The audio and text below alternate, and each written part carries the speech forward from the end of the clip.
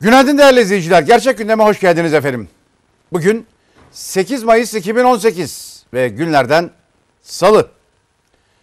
Evet e, artık bir buçuk ay kaldı diyebiliriz rahatlıkla değil mi efendim seçimlere? Zaman çok hızlı. Seçim zaten sıkıştırılmış bir takvimin içinde. Medyaya, gazetelere, köşe yazılarına baktığımızda ağırlıklı olarak iktidar partisi gazetelerinde ama yine de e, Cumhurbaşkanı Erdoğan'ın geçtiğimiz hafta sonunda açıkladığı seçim manifestosunun yankı bulduğunu, ona ilişkin değerlendirmeler yapıldığını görüyoruz. Kuzey Kıbrıs Türk Cumhuriyeti Cumhurbaşkanı Mustafa Akıncı'nın Guterres belgesini Anastasiadas'a önermesi yani Türkiye'nin garantörlük haklarından vazgeçtiği ve Türk Silahlı Kuvvetleri'nin Kıbrıs'ı sembolik bir güç bırakarak boşalttığı bir pazarlık zemininden yola çıkarak yeni baştan görüşmelerin başlaması önerisi pek de Türkiye'de yankı bulmuşa benzemiyor efendim. Cumhurbaşkanı Erdoğan dün Zeytin Dağı ödüllerinin töreninde konuştu. Ve tabii Kudüs konusu ağırlıklı olarak gündemdeydi. Ve Kudüs için Amerika Birleşik Devletleri Büyükelçiliğini taşıma hazırlığına başladı bile. Belki fiili olarak değil ama sembolik olarak hemen hızla o gelişmenin hayata geçmesi bekleniyor. Çünkü fiili taşınmanın zaman alacağı söyleniyor. İsrail tabii ki bu uygulamadan son derece sevinçli. Ve 14 Mayıs yani İsrail'in kuruluş yıl dönümünde Büyükelçilikte faaliyete geçmiş olacak. Bu arada Amerikan meclisinde kongrede Türkiye'nin F-35'lerle ilgili olarak veya daha genel anlamda F-35'leri de içine alan bir silah ambargosu veya bir kısıtlama veya e, geçici de olsa bir engelleme bu yönde bir takım hazırlıklar yapıldığı haberleri var. Yani Türkiye'ye 1974'te uygulanan silah ambargosunun bir benzeri veya daha kısa süreli, daha dar kapsamlı bir ambargo ihtimali söz konusu. Tabii e, F5, F-35'ler üzerinden veya bir silah ambargosu üzerinden Türkiye'ye yapılan baskı elbette ki S-400'lerle ilgili bir gelişmenin misillemesi. Çok açık. Peki bütün bunlar Türkiye'nin tercihlerini nasıl etkileyecek? Bunun için muhtemelen seçim sonuçlarını ve ortaya çıkan e, fotoğrafı görmemiz gerekecek. Zaten zaman da çok hızlı ilerliyor. Şunun şurasında bir buçuk ay kalmış. Çok fazla bir zaman söz konusu değil. Tehlikeli gelişme evvelsi gün İstanbul'da yaşandı. İyi Parti'nin seçim standına saldırı gerçekleşti. Ağır yaralanan iki kişiden de söz ediliyor. Toplam yedi kişi yaralandı, ikisinin ağır olduğu ifadesi var.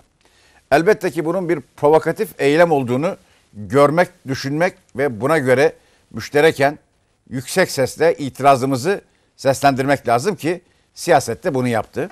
Ama hükümete, İçişleri Bakanlığı'na düşen, bu arada Saadet Partisi standına dönük de bir saldırı gerçekleşmişti hatırlarsanız. Bu tür saldırıların önüne geçmek gerekiyor. İçişleri Bakanlığı'nın başka hiçbir işi olmasa bile bunu hakkını vererek yapmak zorunda. Seçimin ve Türkiye'nin selameti açısından. Tabii bu aynı zamanda propaganda güvenliğini engellemek anlamına da gelmez, gelemez, gelmemeli. Bu olumsuzluklardan böyle bir cinlik çıkarmaya kalkışmak herhalde söz konusu olmaz diye iyi niyetimizi seslendirmiş olalım. Bütün bu gelişmelerin ötesinde bu yaşadığımız süreçle ilgili deneyimli bir ismin Erol Mütercimler'in Yörünge dergisine vermiş olduğu bir röportaj var. AK Parti çizgisinde AK Parti'ye destek veren bir yayın çizgisi e, var Yörünge dergisinin. Web siteleri de var. İsteyenler internet üzerinden de erişebilirler. İşte o röportajda da bir alıntı yaptık. Erol Mütercimler, NATO koridorlarından yansıyan seslerin Türkiye'de tedirginlik yarattığını, seçimin öne alınmasının sebebinin de bu olduğunu ifade ediyor. Yani Türkiye'yi karıştırmayı hedefleyen bir NATO operasyonundan söz ediyor. İşte bu bilgi veya bu duyum devleti yönetenlere ulaştığında erken seçim kararının hızla alınmasının arka planında bu olduğunu ve bir erken seçimin bu tür müdahaleleri durdurabileceği, engelleyebileceği veya erteleyebileceği görüşünü seslendiriyor. Uzunca bir röportaj ama biz çarpıcı, öne çıkan kısımlarını alıntıladık. Sizlerle paylaşacağız e, az sonra. Çünkü gerçekten zorlu, sıkıntılı, sancılı ve bölgemizde ve bizim içinde bulunduğumuz coğrafyada hemen her büyük gücün, bırakın büyük gücü, kendisinin büyük olduğunu düşünen birilerin dahi eli parmağı hesabı var. Dolayısıyla zor dönemler, zor günler yaşıyoruz efendim. Efendim şimdi gazetelerimize bir dönelim. İşte böyle bir zamanda gazetelerde neler var?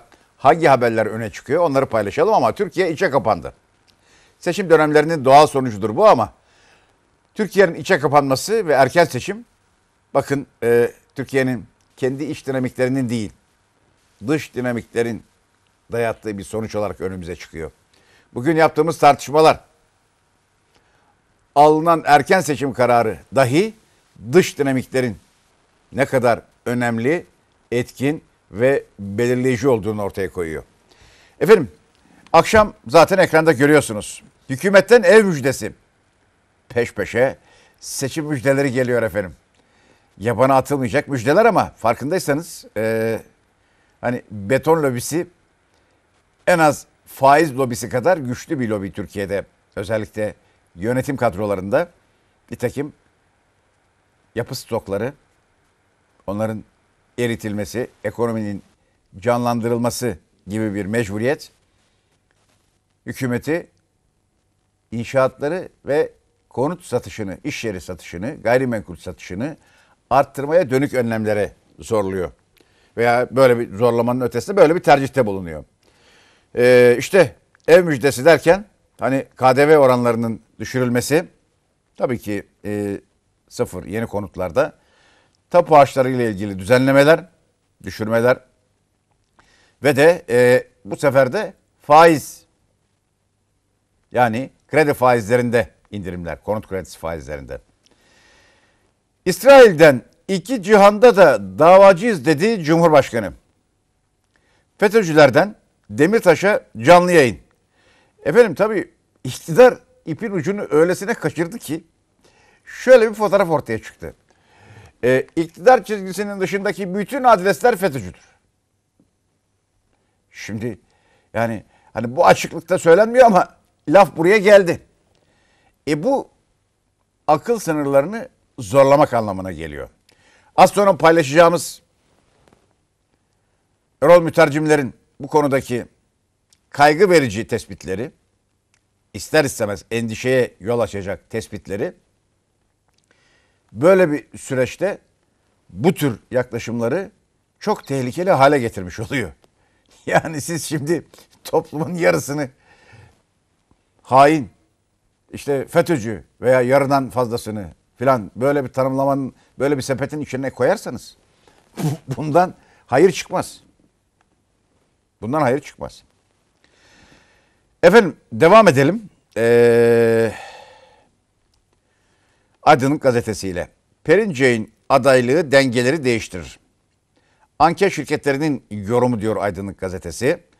Araştırma kuruluşu yöneticileri seçimlerde çok adaylı bir yarışın Erdoğan'ın kazanmasını zorlaştıracağını belirterek Perinçek'in 100 bin imza toplamasının önemine dikkat çekti. Bu arada Perinçek'in imzaları 67 bine ulaşmış efendim. Tabii e, yarın akşama kadar devam edecek olan bir süreçten söz ediyoruz. imza sürecinden. Dördünde başladı 9'u akşamı. Yani yarın akşam sona erecek. Bugün gün boyu saat 20'ye kadar. Yarın yine gün boyu saat 20'ye kadar imza verme işlemleri devam edecek. Ee, önce Meral Akşener. Hemen ardından Temel Karamollaoğlu 100 bin imzayı tamamlayan isimler oldu. Meral Hanım 250 bin sınırlarında. Temel Karamollaoğlu ise 200 bine doğru yaklaşıyor. İşte e, 67 bin imzası da yarın akşama kadar 100 bini bulma ihtimali yüksek. Şimdiye kadar 67 bin olduysa 100 bini bulabilir. Evet bu arada tabii e, bu imzalar aynı dünya görüşünü paylaşanlardan gelmiyor.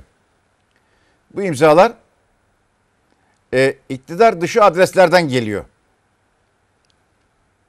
Bir paylaşım söz konusu efendim. Onu da söyleyelim. Buna ilişkin işte bir takım açıklamalar da var. İşte ben falancaya imza attım. Öbürü eşim filancaya imza attı.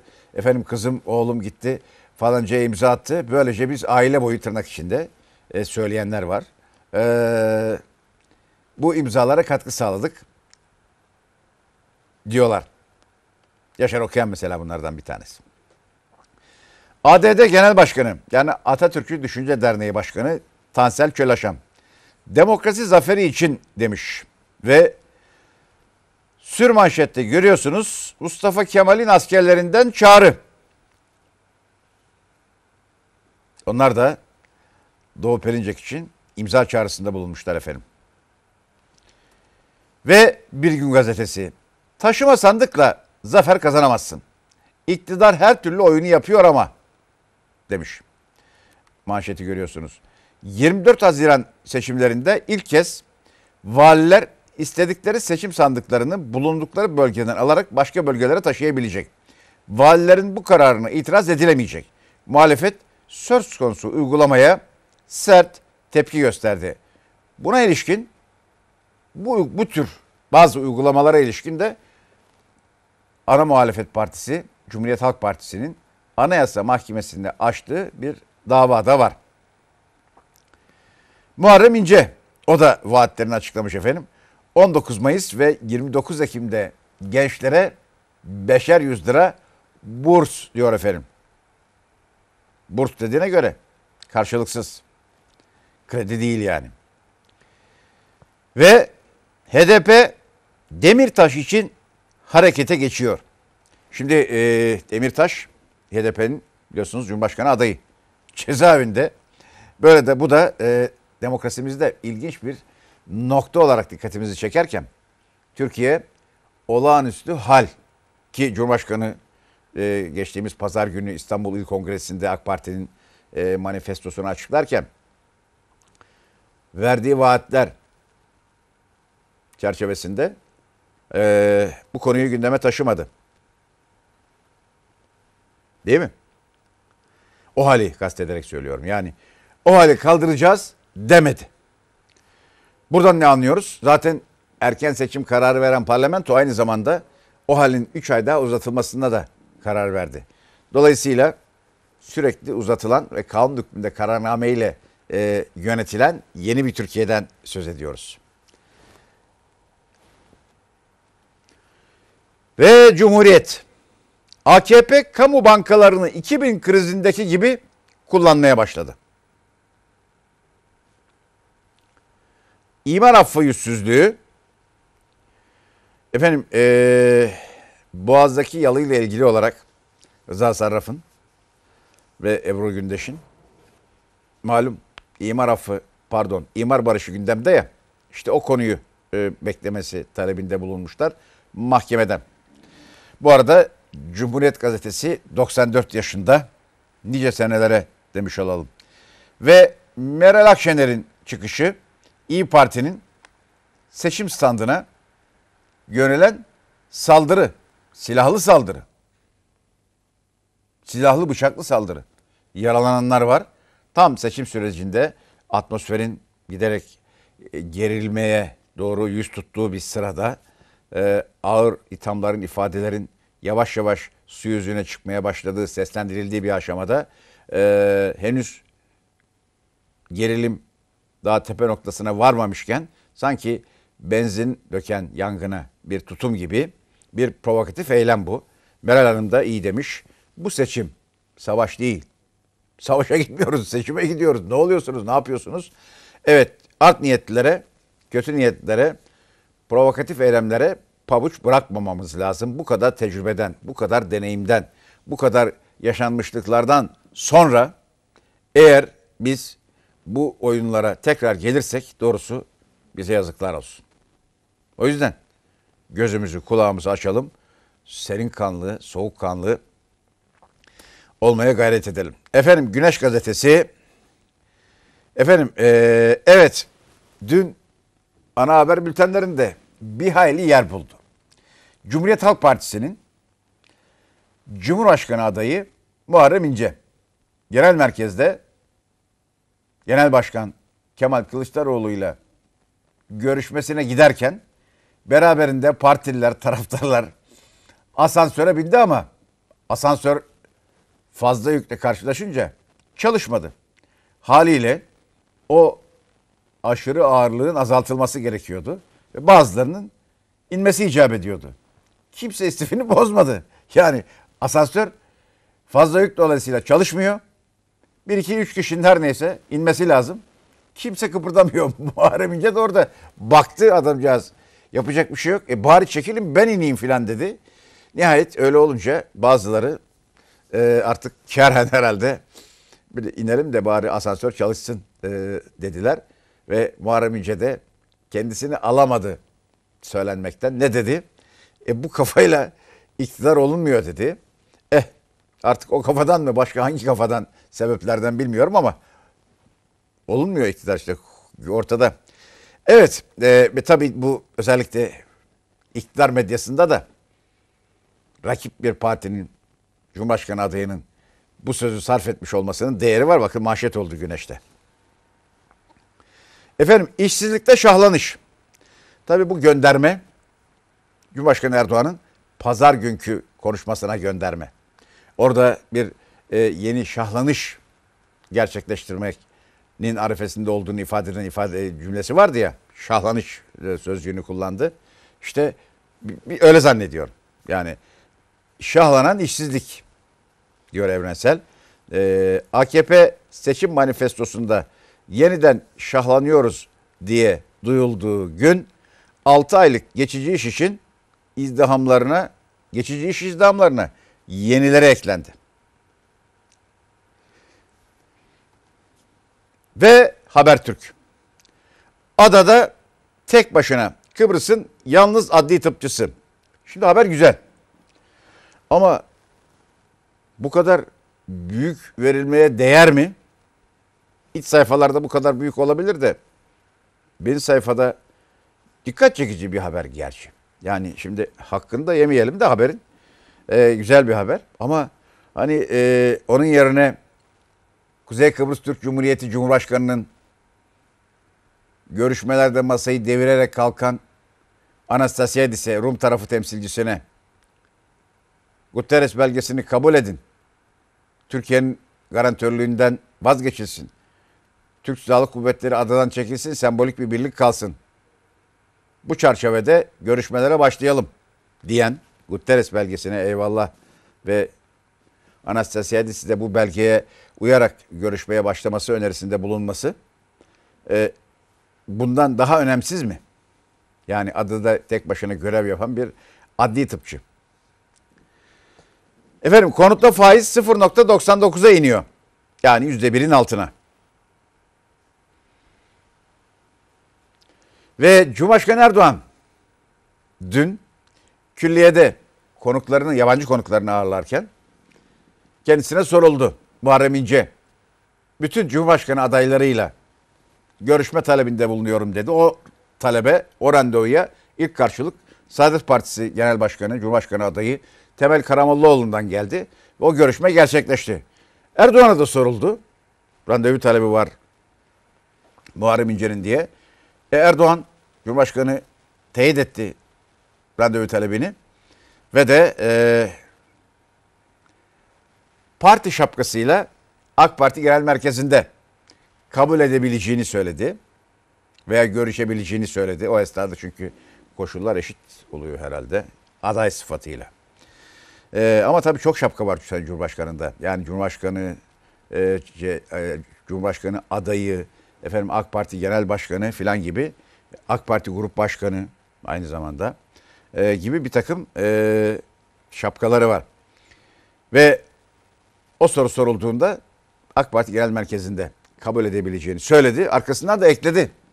Belki de ayağa alışır dedi. Evet o ayak alışır mı? Alışırsa nasıl olur? Ee, bilmiyoruz. Efendim. Ee, devam edelim. Hürriyetle. Şu çılgın gençler demiş efendim. Şimdi Hürriyet'in bir güzel haberi bu. Aynı zamanda da iç ferahlatan bir haber olduğunu söyleyelim. Şimdi Darüşşafaka e, Lisesi'nin robot takımı ABD'nin prestijli yarışması First'te başkanlık özel ödülü almış. Hürriyet'in manşetinde. E, önemli, güzel, yüreğimizi ferahlatacak kavga, gürültü, küfür, e, efendim olumsuzluklar taşımayan, canımızı sıkmayan, yahu hiç olmazsa bu kaotik ortamda her şeyin birbirine karıştığı esnada böylesine güzellikler de yaşanıyor dedirtecek türden bir haber. Tabi Demirören hürriyetinin aynı zamanda ve hürriyet yönetiminin editoryal tercihlerinin de bir yansıması bu. İnceyi partimde kabul ederim diyen Cumhurbaşkanı hemen bu haberin yanı başında. Konuta doping. Evet. Beton lobisi Türkiye'de en az faiz lobisi kadar güçlü. Özellikle son dönemde inşaatlarda çok ciddi boyutlardaki artış. Şimdi e, televizyon ve gazetelere e, bakarsanız eğer e, oralardaki ilanlara, reklamlara bakarsanız konut reklamlarının adeta en önde olduğunu görebilirsiniz. Ciddi bir konut stoğunun e, biriktiği de biliniyor. Dolayısıyla durgunlaşan o piyasanın canlandırılması gibi de bir hedef söz konusu. İşte en son konut kredisi faizlerinde bir düşme, bir indirim e, hazırlanıyor. 0.99 haberi vardı az önce Habertürk'te hatırlayanlar olacak. E, ve KDV indirimi elbette ki sıfır binalar için ve tapu harçlarındaki indirim özellikle yüksek bedelli. Hep e, zenginin kazandığı bir sistem ya. Yüksek fiyatlarla satılan lüks rezidansların harçları da haliyle rakamlar büyük olduğu için kazancı da büyük oluyor. Efendim e, Cumhurbaşkanı adaylarından peş peşe vaatler gelmeye başladı. İşte Muharrem İnce 19 Mayıs ve 29 Ekimlerde gençlere 500 lira burs vaat etti. Meral Hanım vatandaşın kredi, tüketici kartı borçlarını satın alacaklarını söyledi. Ve e, peş peşe hamleler geliyor. Benzer hamlelerde yine e, HDP Cumhurbaşkanı adayı Selahattin Demirtaş'tan da geldi. Dolayısıyla seçim vaatleri, seçim rüşvetleri yüksek seslerle seslendirilmeye başladı. Ee, ama bu konudaki en büyük paketi tabii ki hükümet e, açtı onu da söyleyelim. Yalı pişkini demiş Karar Gazetesi eksiksiz tam ekonomi paketinde imar düzenlemesi çıktı. İlk hamle Ebru Gündeş'ten gelmiş efendim. Kanlıca'daki yalısına kaçak tadilat yaptırdığı gerekçesiyle 3 yıl hapiste yargılanan şarkıcı son duruşmada mahkemeden af beklentisini, affın sonucu beklensin talebini seslendirmiş. Tabii bir başka şeyi de e, hatırlatmış olalım. Yani af beklentisi imar barışı. Hükümet ona af demiyor, imar barışı diyor e, biliyorsunuz. Ve e, yine son günlerde söylenenlere bakılırsa İstanbul Boğazı ve öngörünüm hattı istisna olacak bu e, imar barışı için. Seçime gidiyoruz. Savaşa değil uyarısını yaptı Meral Hanım. Cumhuriyet'te de bu başlıkta kendisine yer buldu. Karar Gazetesi'nde de bu başlıkta yer buldu Meral Akşener. Efendim Milat gazetesi papaz değil ikili ajan diyor. Hem PKK'ya adam gönderdi hem de ABD'ye silah koordinatı verdi. Papaz Brunson e, biliyorsunuz e, Cumhurbaşkanı ile görüşmesinde ABD Başkanı Trump'ın seslendirdiği serbest bırakılmasını istediği isim ikinci kez e, yargılanmış. Kürtçe İncil dağıtılmış ama bir başka tarafı daha var. Aynı zamanda bir Hristiyan Kürt devleti kurulması için faaliyet gösterdiği iddiaları da var. Salih Mirza Beyoğlu geçirdiği rahatsızlık sonrası hastaneye kaldırıldı ve hayatını kaybettiği haberi var. Milli Gazete ise iki koldan saldırı demiş. Kudüs'te Siyonist elçilik tabelaları. Evet. Amerika Birleşik Devletleri Birleşik Devletler Büyükelçiliği bakın tabelası. Hem e, Arapça hem İbranice ve tabii İngilizce başlıklar. Kudüs'te Siyon tabelaları asılıyor diye yorumlamış Milli Gazete. Bu arada Sarkozy'nin de fotoğrafı var. Ee, Sarkozy, Sarkozy'nin de eski e, Fransa Cumhurbaşkanı Sarkozy'nin de aralarında bulunduğu 300 kadar gazeteci, yazar, siyasetçi takımı müşterek imza ile Kur'an'ın antisemitik ayetlerinin, onları öyle tanımlıyorlar, bazı ayetlerinin değiştirilmesini, kaldırılmasını önermişler. E, o haber de bu haberin içerisine girmiş. İki koldan derken işte e, kollardan bir tanesi Kudüs'te ABD Büyükelçiliğini açarken bir başka kolda e, Kur'an ayetlerinin değiştirilmesi kaldırılması önerisinde bulunuyor. E, işte şiddet teşvik ediliyor bazı ayetlerle haşa ve yine e, bazı ayetlerle antisemitizm yapılıyor. Dolayısıyla bu ayetler değiştirilsin önerisi. Evet Allah'tan güncellensin falan dememişler. Diyebilirlerdi. Ee, başka yaklaşımla karıştırılırdı. İsrail yönetiminden iki cihanda da davacı olacağız diyor Cumhurbaşkanı efendim. Ve milliyet iki cihanda davacıyız. Konutta dev kampanya. Farkındasınız değil mi efendim? Gazetelerdeki e, tıpkı basımı bir tür e, fotokopi gazeteyi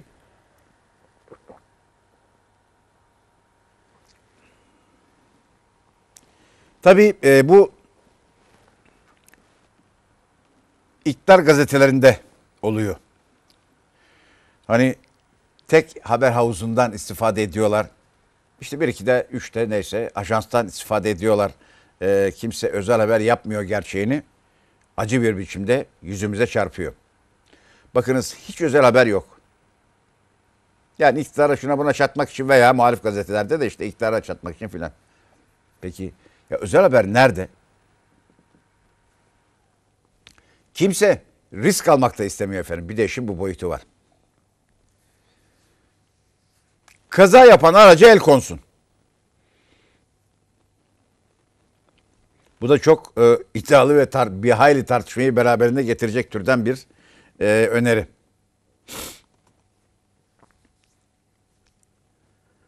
Efendim Trump Kudüs'te kaos arıyor. ABD'nin Orta Doğu'da yeni bir kriz çıkarmaya yönelik hamlesi tabela asma olayıyla yeni bir boyut kazanıyor. FETÖ'cü oylar kime imza aldı? MHP Genel Başkanı Devlet Bahçeli 7 Haziran seçimlerinde bağımsız milletvekili adayı olarak giren FETÖ'cü isimlerin aldığı oyları tek tek saydı ve vehameti ortaya koyan soruyu sordu. Şimdi vehamet şu. Ee, bazı kesimlere muhalefete oy kullanacaklara bir siyaset yasağı mı var? Cezaevindeki FETÖ'cüler bile 7 Haziran seçimlerinde, 1 Kasım seçimlerinde, 16 e, Nisan referandumunda oy kullandılar. Yüksek Seçim Kurulu'nun kararıyla. Şimdi onların aileleri, sempatizanları, bunlara bir siyaset yasağı getirmeniz lazım o zaman. En kestirmesi bu. Yoksa hani yeni bir suç icat etmek, muhalefet partilerine oy vermek suçtur. falan gibi bir ceza yasamızda değişiklik düşünülüyorsa tabii o da başka. Ama bunun için çok fazla zahmete de gerek yok. Kanun hükmünde kararnameler var. Şak diye icabı yapılır efendim. Posta gazetesi. Evet Posta gazetesi Demirören gazetesi. Ee, birden çok bikinili veya üstsüz hanımın fotoğrafları yer alırdı. Şimdi o sayı teke düştü ama boşta geçmiyorlar efendim. 5 dakika öncesine kadar öylesine neşeliydi ki ama sonra canını aldılar. Evet. Efendim düğünlerimizde, derneklerimizde asker uğurlamaları da dahil olmak üzere garip adetler son yıllarda peydah oldu. Ve bunun acı faturalarını da ödüyoruz. Yani işte silah sıkmak, pompalı ateş etmek filan gibi bir e, moda da var ya. Bu küçük çocukların, gençlerin hayatını kaybetmesiyle sonuçlanıyor. İşte bu haberde öyle bir haber. Efendim en uzun liderler hani Cumhurbaşkanı'nın boyunun maşallahı var ama baksanıza e, Sırbistan'dan gelen konuk da bayağı uzun basketçi gibi. Sabah gazetesi kurdukları tuzağa kendileri düşecek. Demiş bu sabah böyle bir kolay yol seçti. Ee, şehit yakınları, 15 Temmuz e, gazileri filan e, bunları e, konuşturarak siyaset güncesi, siyaset gündemi yapmaya çalışıyor. Eminim en çok da bu ucuz ve yakışıksız yöntemden Sayın Cumhurbaşkanı rahatsızdır. Sayın Cumhurbaşkanı'nın bu tür istismarlara mı ihtiyacı var? Hani ne derler? Ee, aptal dostansa akıllı düşman derler değil mi efendim? Ev alacaklara faiz indirimi müjdesi. Bu arada e, Beşiktaş 3 puanı cebine koydu efendim Beşiktaş. Son söz. Trafik güvenliği sadece polisiye önlemlerle önleremez. Kuralsızlık ölüm getirir demiş manşetinde. Ve sözcü. Bisiklete binen, kendi otomobilini kullanan, 3000 korumayla gezmeyen bir cumhurbaşkanı olacağım diyor. Muharrem İnce. CHP'nin adayı İnce seçilince neler yapacağını, neleri değiştireceğini tek tek anlattı. Saltanatlar, saraylar olmayacak dedi ve ekledi. Neler ekledi onu ayrıntılı da göreceksiniz. 4,5 milyon kişinin kredi borcunu satın alacağız. 8 milyarmış efendim. 8 milyar dediniz 8 katrilyon. Yani bayağı ciddi bir rakam. Gençlerimize her yıl 1000 lira burs vereceğim dedi. O da bu e, seçim vaadi de Muharrem e, inceden geldi. İşte 500 lira 19 Mayıs'ta, 500 lira da 29 Ekim'de. Seçim öncesi bir vaatle iktidardan ev almak isteyene indirimli kredi yolda. Bir vaat ki ciddi bir seçim paketi açtı e, AK Parti şimdiye kadar hiç tanık olmadığımız türden. Yani AK Parti'den tanık olmadığımız türden. Çok geniş kitleleri çok yakından ilgilendiren ve prensip olarak da mümkünse herkesin cebine küçük büyük demeden bir şey koyalım diye hedeflenmiş. Öyle anlaşılıyor. Her seçmenin cebine bir faydamız olsun. Seçimin bir tarafıyla geniş kitleleri ilgilendiren yanı da bu. Efendim e, bu arada döviz fiyatları aldı başını gitti. 4.26 idi dün akşam saatlerinde doların fiyatı. 4.26. Bu arada Merkez Bankası'nın müdahaleleri var ama döviz fiyatları o müdahaleleri dikkate almıyor. Merkezin 2.2 milyarlık hamlesi doları kesmedi. Ve Star gazetesi İşçi Parti, e, İyi Parti'den hep İşçi Parti'nin kısaltılması ya. İyi Parti'den FETÖ taktikleri. Şimdi bunların ayrıntılarını vereceğiz efendim. Ee, evet. Şimdi bir defa iktidar cephesinden bakıldığında e, şöyle şu. Yani açıkça neredeyse. Efendim e, AK Parti ve MHP'nin dışındaki herkes buralar oy kullananlar dahil sade vatandaş ha. imza verenler en başta olmak üzere hani bağımsız adaylara. E, Saadet Partisi falan da bu arada işin içine girdi. E, FETÖ'cüdür. Şimdi bu yol ve yöntemle dış müdahalelerle Türkiye'de bir iç savaşın çıkartılabileceği, insanlarımızın kanının akıtılabileceği gibi kaygı uyandıran açıklamalar, yorumlar söz konusuyken bu boyutta bir ayrıştırma kime hizmet eder diye sormak durumundayız. Takvim gazetesi neden iktidar olamadığımız belli diyen Muharrem İnce'ye yer vermiş efendim. Demin tarif ettik işte. Cumhuriyet Halk Partisi Genel Merkezi'ndeki asansörler. Beraberindekilerle beraber Muharrem İnce asansörü binince fazla sayıdaki kişi asansörün çalışmasını engelleyince kimse de istifini bozmayınca Muharrem İnce istifini bozup ben ineyim o zaman siz çıkın dedi. Öyle olunca bir iki kişi kerhen işte asansörün hareketini sağlayacak kadar e, çıktılar. Gene o kadar e, yüzü olan varmış yani. Tuhaf bir şey değil mi? Aman Cumhurbaşkanı adayımızı kaçırmayalım. O kaygı herhalde. Türkiye gazetesi başkanlık kabinesi demiş efendim. Ankara'da seçim sonrası hesapları. Eh, bu hesabı Türkiye'de yapmış. Ki gönlünden geçen isimleri parlatmaya çalışmış. Berat Albayrak, Bekir Bozdağ, Abdülhamit Gül, Nurettin Canikli. Ee, evet Erdoğan'ın önünde 3 stratejik karar var. Milletvekili listeleri yapılırken yeni kabine ve belediye başkan adayları şekillendirilecek. Dolayısıyla bir rahatlığı var Cumhurbaşkanı'nın. Ne o?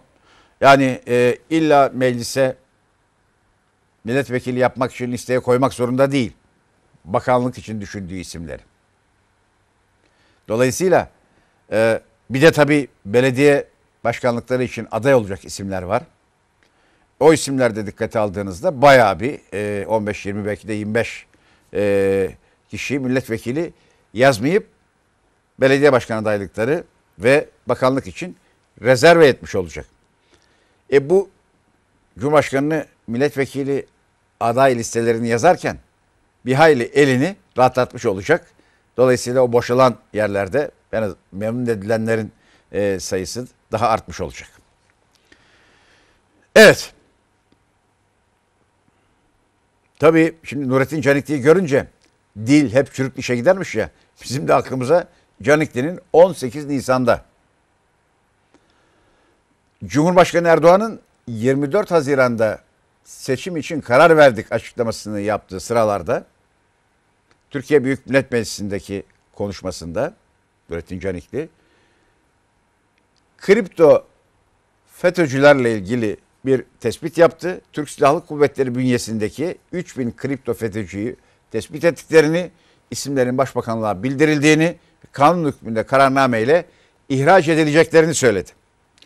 O günden bugüne bir hareket yok. 18-19 gün oldu. Efendim e, dışlanırsak F-35 çöker.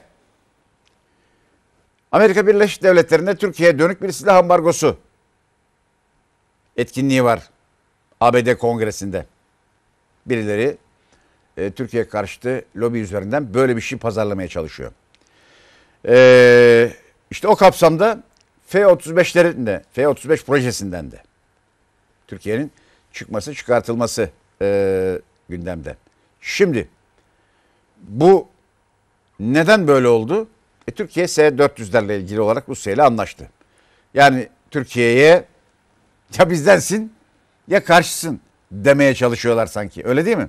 Türkiye NATO ittifakı kapsamında Avrupa Birliği ile ilişkilerini de sürdüreceğini Cumhurbaşkanı Erdoğan'ın işte manifestosuyla tekrar gündeme getirdik.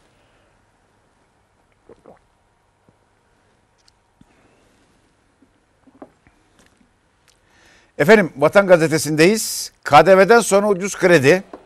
Dedik ya tıpkı basım durumundayız. Hele iktidar gazeteleri tıpkı basım. Partimde görüşürüm.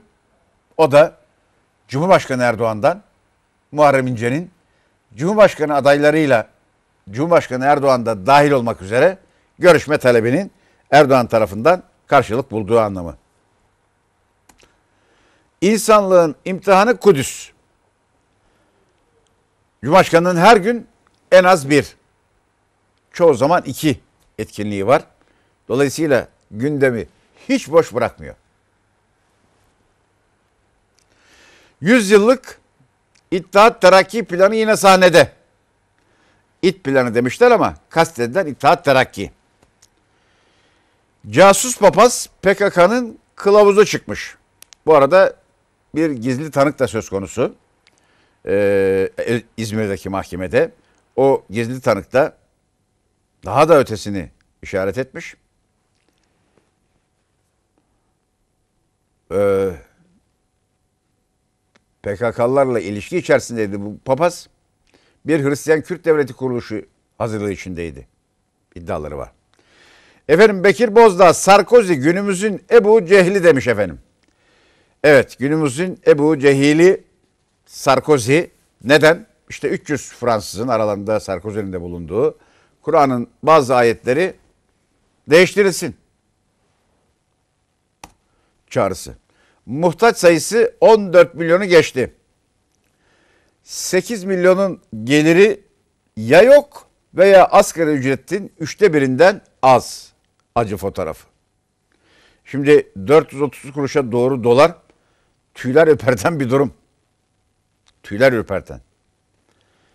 Ee, ve şöyle garip bir sonuç ortaya çıkarıyor ekonomimiz açısından bakıldığında. Türkiye 7 onda 4, 7 onda 2 büyüyor. Dolar bazında küçülüyor. Evet yanlış duymadınız. Türkiye TL bazında 7 onda 2 ya da onda 4 büyürken milli gelirimiz Türk lirası bazında şey, döviz bazında dolar bazında düşüyor. Neye rağmen? Peş peşe gerçekleştirilen iki revizeye rağmen. Hani milli gelir hesaplarında iki kez değişiklik yapıldı ya. Yani onun aşağı yukarı 3850 dolar falan gibi e, kişi başı gelirde bir artış sağladığı biliniyor. O iki revizenin. 780 milyar gibi mi 680 milyar mı böyle bir e, iki değişiklik gündeme konduğunda milli gelirdeki böyle bir artış meydana geldi. Kaydi olarak kağıt üzerinde. Yeni birlik Hristiyan bir Kürt devleti demiş efendim. Gizli tanık papaz Bronson'un amacını böyle anlatmış.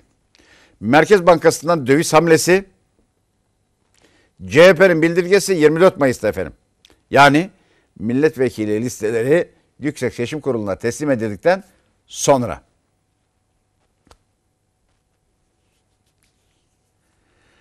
Ee, evet. Şimdi Milli Eğitim Bakanımızın bir açıklaması var. Ne diyelim? Adeta itiraf gibi diyenler olacaktır. Hiç de sayılar az olmayacaktır. Eğitimde Avrupa ülkelerinden çok geride değiliz. Bunu nasıl yazabilirsiniz? Eğitimde Avrupa Birliği üyesi ülkelerden geriyiz. Öyle ya. Çok geride değiliz demek. Geriyiz. Ama az geriyiz. Yeni Çağ Gazetesi Meral Akşener'in seçim vaadini, ilk seçim vaadi sanıyorum. Borç kaderiniz değil, sileceğiz demiş efendim. İyi Parti Genel Başkanı Türkiye Dayanışma Fonu'yla borç batağındaki 4,5 milyon vatandaşa umut oldu. Yeni Şafak madem öyle indir faizi. Bankalar Birliği'nin toplantısında konuştu aslında dün Başbakan Binali Yıldırım ve de e, Bankalar Birliği Başkanı. Yani yüksek faiz bizim tercih ettiğimiz bir durum değil. Biz daha düşük faizi ama artan iş hacmini tercih ederiz.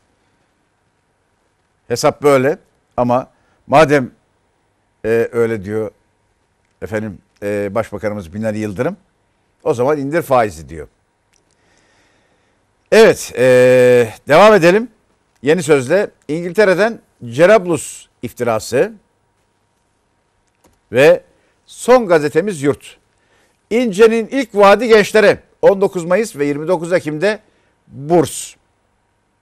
Tabii ki karşılıksız. Efendim çözüm yoksa oyda yok. Emeklilikte yaşı takılanlar isyanda. Eh, yani ağlamayan çocuğa mama vermezler denir ya. Şimdi e, çeşitli sosyal gruplar, çıkar grupları onlar da bu yol ve yöntemle paçalarını kurtarmaya çalışıyorlar efendim. 4,5 milyon vatandaşın borcu satın alınacak çok e, iddialı bir proje olduğunu söyleyelim. Ciddi bir kaynak kullanmayı da gerektiriyor. Efendim Türkiye Futbol Federasyonu Fatih Terim'e 9 milyon lira ödeyecek. Bu para sözleşmeden kaynaklanan bir hakkı efendim e, Fatih Terim'in. Ama bu para bu parayı almak etik bir durum mudur? Ahlaki midir? Onu sormak lazım. Efendim gazeteleri tamamladık. Şimdi daha ayrıntılı bir tura geçme hazırlığındayız. Köşe yazılarımız var. Onları da sizlerle paylaşmak için hazırız. Bir kısa aramız var. Verelim. Sonra yine sizlerle birlikte olalım.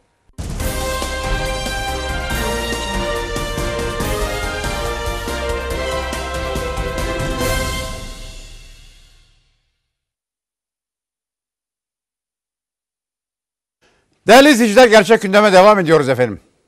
Ayrıntılı bir gazete turuyla ve köşe yazılarıyla. Bir de bir röportaj alıntıladık. Kısa. Ee, uzun bir röportajdan bakınca kısa. Çarpıcı iddialar ve tespitler var. Dikkate değer bir kişinin ağzından çıkan sözler olduğu için onu da sizlerle paylaşacağız. Doktor Erol Mütercimler'den söz ediyoruz efendim. Yörünge dergisine bir röportaj vermiş. AK Parti çizgisinde yayın yapan bir dergiden söz ediyoruz. Yörünge dergisinde. Ancak ciddi tespitleri var, iddiaları var ve onları da yüksek sesle seslendirmiş. Bu seçim sürecini hedef alan, seçim süreci sonrasını dikkate alan, bir takım olumsuzlukların yaşanabilme ihtimaline dikkat çekiyor. Ve bunun dış kaynaklı NATO adresli olduğunu da açık bir biçimde ifade etmiş.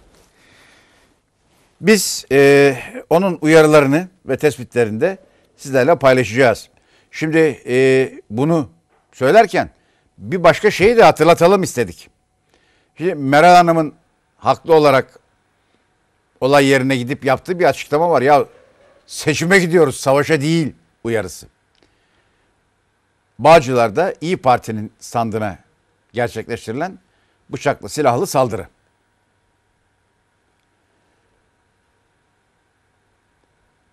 Toplumun da siyasi partilerinde bu konuda medyanın da elbette ki sorumlu davranması gerekiyor. Şimdi e, bakın iki farklı tutum hemen paylaşıverelim sizlerle. İyi Parti'den. Müsavat Dervişoğlu.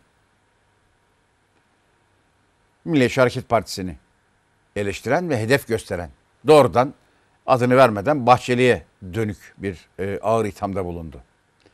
Aynı partinin genel sekreteri. Doktor Aytun Çıray. İzmir'den açıklama yaptı ve dedi ki bu adli bir olay sakin olalım adalet, yargı gereğini yapar. Bu mealde sözler söyledi. Şimdi doğrusu Aytun Çıray'ın söylediğiydi. Bakınız böylesine kritik bir süreçte az sonra paylaşacağız e, Erol Mütercimler'in yorumunu, öngörülerini. E, bunların bilindiği bir ortamda ki erken seçimin bu sebeple erken seçim olarak e, belirlenmesinin Türkiye'ye dönük bu tehdit dolayısıyla bir mecburiyet olduğuna e, işaret ediyor e, Erol Mütercimler. E şimdi böyle bir zamanda e, böylesine kışkırtıcı bir durumun, bu provokasyonun aracısı, vesilesi isteyerek istemeyerek, bilerek bilmeyerek olmamak lazım. Efendim e, akşama döndük. Akşamla devam ediyoruz e, ve akşamın manşeti hükümetten ev müjdesi. Başbakan Binali Yıldırım kamu bankalarının öncülüğünde yeni bir kampanya başlatılacağını açıklamış efendim. Faizlerin yüzde birin altına inmesi fiyatlarında düşmesi bekleniyor. %1'in altına işte 0.99 öngörülüyor faiz olarak. İki indirime ek olacak diyor haber. Konut almak isteyenler için önemli bir avantaj sağlayan vergi indirimi sonrası hükümetten bir adım daha geldi. Yıldırım konut tesliminde ödenen, sıfır konutlar için geçerli tabii bu, KDV ve tapu harcındaki indirim sonrası bir müjdeyi daha kamuoyuyla paylaştı. Kampanyayla stok azalacak. Evet aslında can alıcı ifade burada. Kampanya. Bu kampanya yani e, konut kredisi faizlerinin düşürülmesi, tapu harçlarının indirilmesi ve e, diğeri de KDV indirimi. Bunlar satışı, konut satışlarını teşvik edecek. Beklenti böyle. Peki niye konut satışları teşvik ediliyor? Çünkü stok birikti. Satışlar düştü, azaldı. Bu sebeple piyasada bir doygunluk ve yılgınlık var. Kaygı var. Hani gelecekle ilgili kaygı var. Gelecekle ilgili kaygı olduğu zaman e, kimse harcama yapmaz. Parası cebinde dursun ister. Ne olur ne olmaz diye düşünecektir. Haklı olarak. Olan için tabii. Efendim konut sektöründeki konut sorunun azaltılması için Ziraat Bankası ve diğer bankalar büyük bir kampanya başlatacak. Böylece çarkları konut sektöründe tekrar döndürmeye başlayacağız dedi. İşte Cumhuriyet'te aslında buna dönük bir e, şey de var, e, değerlendirme de var. Tıpkı 2000 öncesinde işte kamu bankası olan Ziraat Bankası'nın e, görev zararına yol açan uygulamalara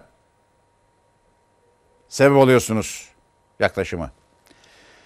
Efendim, ee, Başbakan Yıldırım algı operasyonlarının seçime kadar tırmandırılacağı uyarısında bulundu. Bugün Türkiye hudutları dışında bir ülkenin milletin güvenliğini sağlamak için her kararı alabiliyor. Türk bir daha okuyalım vurgular isabetli olmadı. Bugün Türkiye hudutları dışında da ülkesinin milletinin güvenliğini sağlamak için her kararı alabiliyor. Tek adam yakıştırmalarının arkasında bu hazımsızlık var dedi. Binali Yıldırım. Ee, Türkiye'nin son başbakanı efendim. Binali Bey. Mirza Beyoğlu, Salih Mirza Beyoğlu, İbda C deyince akla gelen bir isim. Ancak tabi Salih Mirza Beyoğlu hayatını kaybetti haberleri geldi. Ancak e, Akşam gazetesi makineye mahkum kaldı diyor. 28 Şubat sürecinin en büyük mağdurlarından olan cumartesi günü geçirdiği kanama sonucu tedavi altına alınan Salih Mirza Beyoğlu'nun beyin ölümü gerçekleşti. Şimdi e, evet cezaevinde ciddi bir takım e, psikolojik operasyonlara da maruz kaldığını seslendirmişti Salih Mirza Beyoğlu. Ama kimse pek kulak asmadı. FETÖ'cülerden Demirtaş'a canlı yayın. Şırnak'ta güvenlik güçlerine roket atarla saldıran Hacı Lokman Birliği'nin kurgu görüntülerini FETÖ'cü bir polis Demirtaş'a canlı yayında izletti.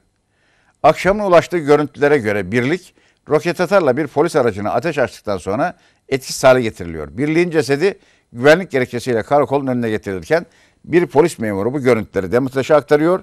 Bu terör seviciler için siyasi rant malzemesi oluyor.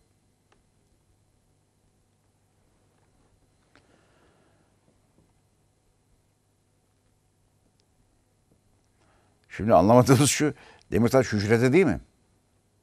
Cep telefonu veriyorlar Demirtaş'a.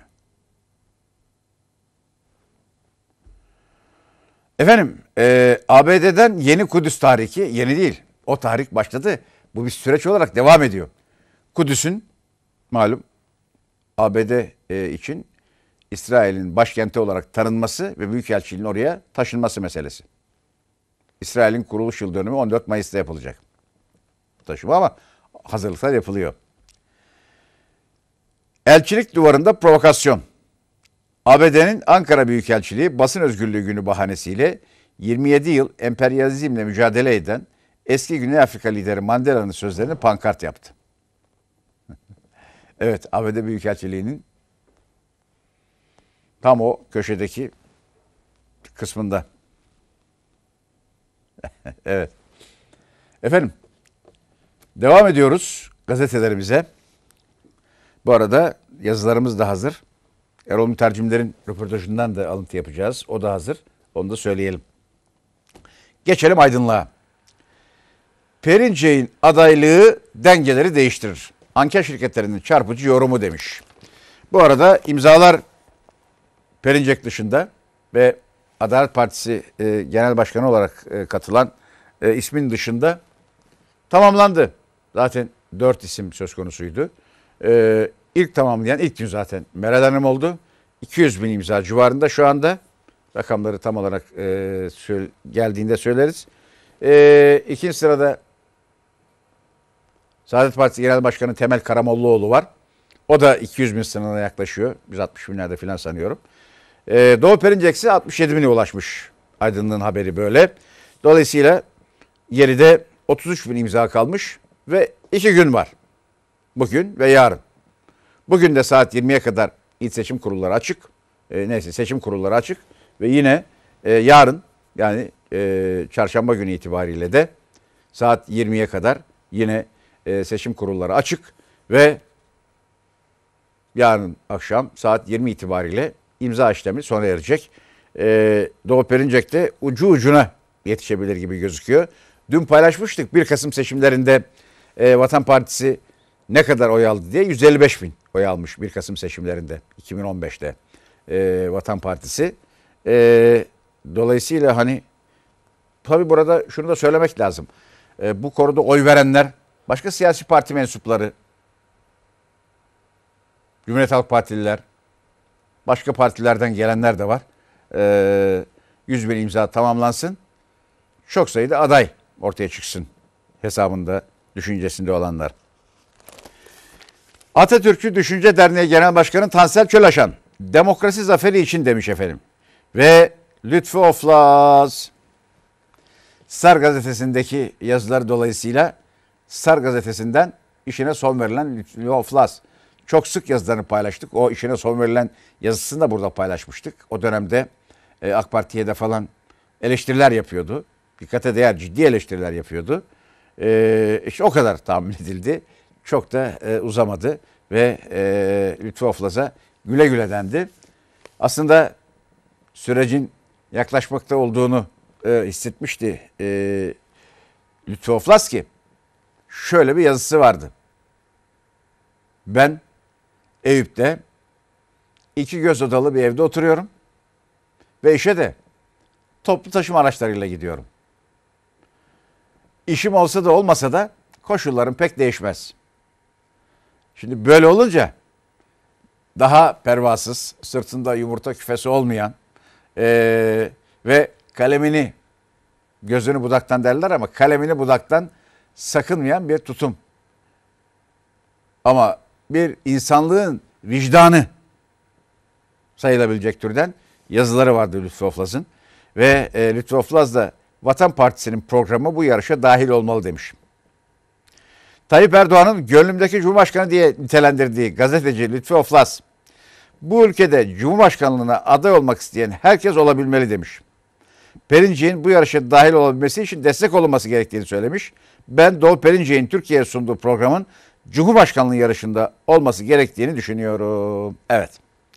Bu arada sürmanşette zaten görüyorsunuz Atilla Kezek, e, Cem Gürdeniz, e, Semih Çetin, koramiraller, tüm amiraller, Yasin Türker, Ahmet Yavuz, Dursun Çiçek, e, Ziya İlker Göktaş, Hulusi Gülbahar, Seyfi Oktay, merhum Ahmet Tatar'ın abi Yarbay Ali Tatar, ya Ali Tatar'ın abi Ahmet Tatar, rahmetli e, Ali Tatar'ın ağabeyi. Efendim e, onlar da Perinçek için imza çağrısında e, bulunmuşlar.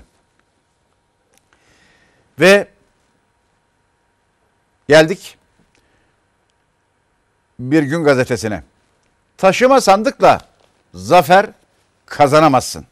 24 Haziran seçimlerinde ilk kez valiler istedikleri seçim sandıklarını bulundukları bölgelerden alarak başka bölgelere taşıyabilecek. Valilerin bu kararına itiraz edilemeyecek. Muhalefet söz konusu uygulamaya sert tepki gösterdi. Ee, evet muhalefet tepki gösterdi ama Cumhuriyet Halk Partisi de bu tür başka bazı uygulamaları da dikkate alarak Anayasa Mahkemesi'ne bir e, iptal davası açtı. Bu tür uygulamaların iptaline ilişkin, seçimin değil. Muharrem İnce vaatlerini açıkladı. Evet, Muharrem İnce'den ilk vaat, Meral Hanım'dan ilk vaatler peş peşe geldi efendim. Aslında HDP'nin eski eş genel başkanı Selahattin Demirtaş'tan da HDP'nin Cumhurbaşkanı adayı olarak vaatler var ama o vaatlere pek e, kulak veren yok. CHP'nin Cumhurbaşkanı adayı İnce, Cumhurbaşkanı'na hakaret davalarını ortadan kaldırılacağını, gençlere 19 Mayıs 29 Ekim'de burs verileceğini söyledi. HDP Demirtaş'ın hareketi geçiyor. Selahattin Demirtaş'ı Cumhurbaşkanı adayı olarak gösteren HDP'de Grup Başkan Vekili Meral Danış Beştaş. Demirtaş'ın adaylığı çok değerli. Bu demokratik siyasette ısrarının yansımasıdır. Bu seçim ilk turda bitmeyecek. ikinci turda yarışa Demirtaş'la devam edeceğiz dedi. Öte yandan HDP Doğu ve Güneydoğu'da faaliyet gösteren 5 partinin seçimlerde Hüdapar'la ittifak yapma teklifini reddetti. Parti tabanının hazır olmadığını gerekçe gösteren HDP teklife olumsuz yanıt verdi.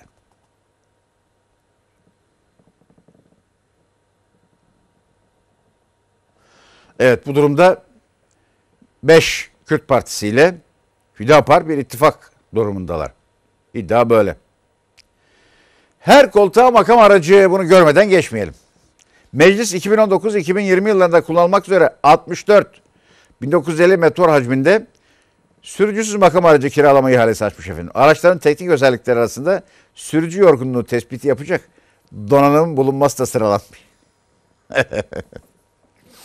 Peki. Efendim. Ee, hayır örgütleyeceğiz diyor Alper Taş. ÖDP Başkanlar Kurulu üyesi Alper Taş, Haziran seçimlerinde seyirci kalmayacağız. Aktif bir biçimde bütün meclislerimizle katılmayı amaçlıyoruz demiş efendim. Evet bakalım Haziran sürprizi ne olur? 7 Haziran çok sürprizli olmuştu hatırlarsanız. AK Parti açısından. Ondan sonra Türkiye Büyük Millet Meclisi kısa dönem milletvekilliği gibi bir kısa dönem milletvekilliği meselesi gündeme geldi. Çünkü o dönem aday gösterilip galiba 25. dönemde o dönem e, bir sonraki döneme yazılmayan böylece birkaç ay milletvekilliği yapıp e, tekrar sivil hayata dönenler olmuştu. AK Parti'den bir hayli. Diğer siyasi partilerden de olmuştu ama e, çoğunluk AK Parti'dendi. İşte e, o kısa dönem milletvekilliği süreci 7 Haziran seçimleriyle olmuştu. Bakalım 24 Haziran seçimlerinde ne olur? Sonrasında 45 günlük hükümet kurma süresi e, gerçekleşmediği için e, yeni baştan seçim kararı alınmıştı. Aslında 7 Haziran gecesi Devlet Bey seçimse seçim ben e, koalisyonlarda yokum anlamındaki çıkışıyla zaten belli bir e, mecburiyet alanı, dar bir alan bırakmıştı e, muhalefete. Eh istikşafi görüşmeler de iktidarla muhalefet kanadında gerçekleşti. Yani bir e, AK Parti CHP koalisyonu olabilir miydi? O da olmadı. Sonra seçim oldu ve de seçimin ilginç sonuçları oldu. Efendim devam ediyoruz. Cumhuriyet Gazetesi ile Ziraat yeniden iktidar emrinde. AKP kamu bankalarını 2001 krizindeki gibi kullanmaya başladı diyor efendim.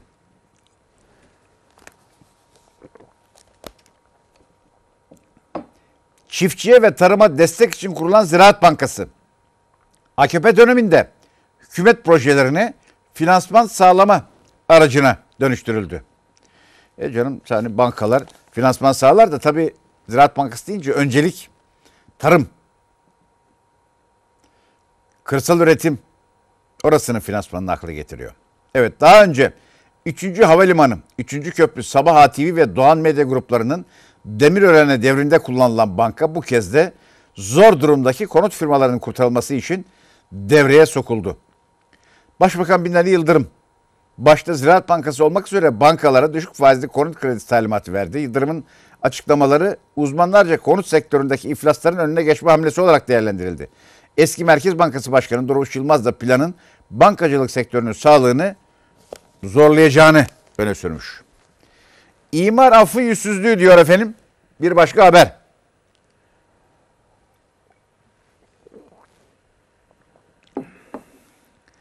Şarkıcı Ebru Gündeş'in Kanlıca'daki yalısında kanuna aykırı tadilat yaptırdığı gerekçesiyle 3 yıla kadar hapis cezası istemiyle yargılandığı davaya avukatın savunması damga vurmuş.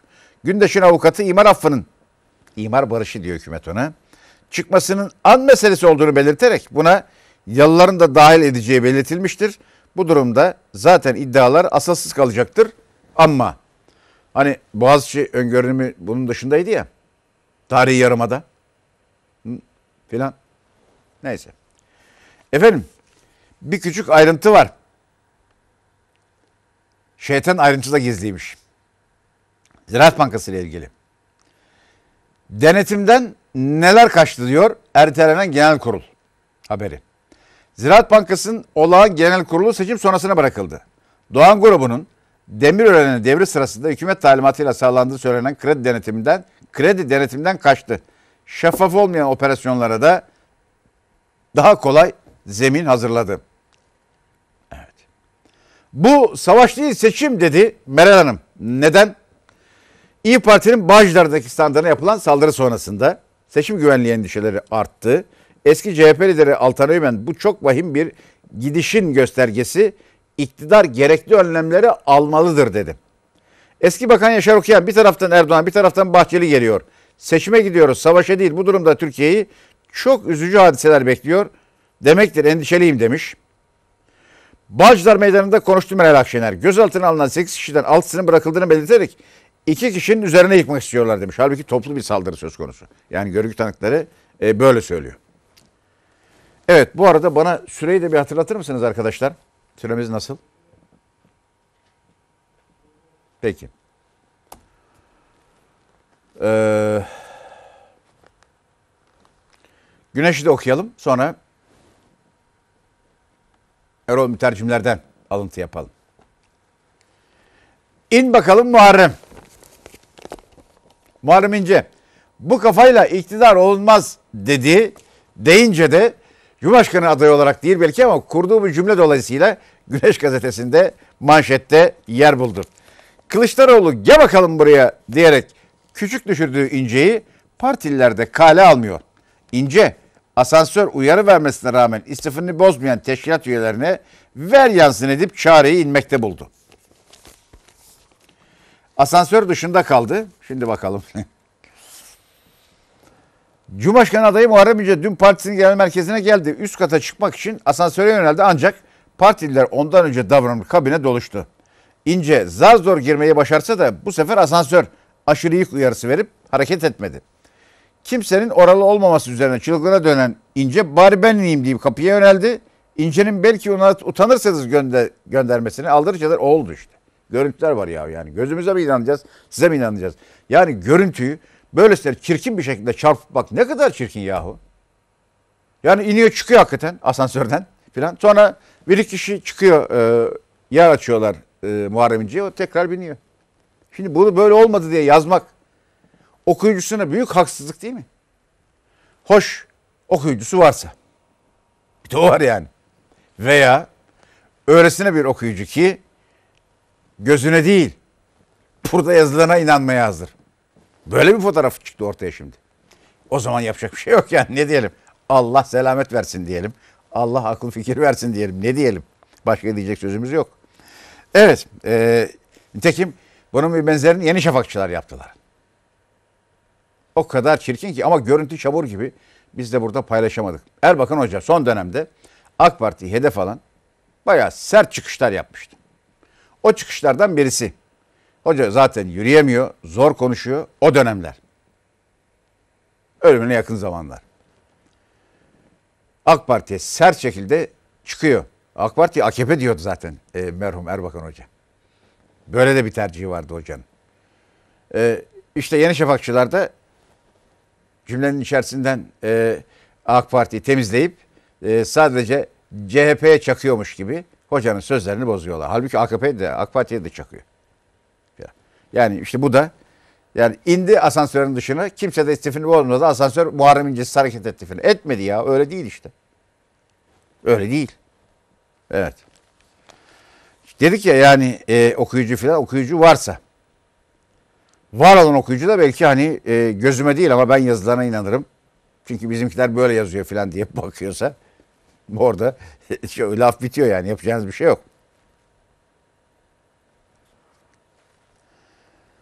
Efendim ee, devam ediyoruz. Evrenselle. İşsizlikte şahlanış. AKP seçim manifestosunun yeniden şahlanıyoruz diye duyurulduğu gün 6 aylık geçici iş izdihamlarına yenileri eklendi. AKP'nin 24 Haziran manifestosu derinleşen sorunların itirafı demiş efendim.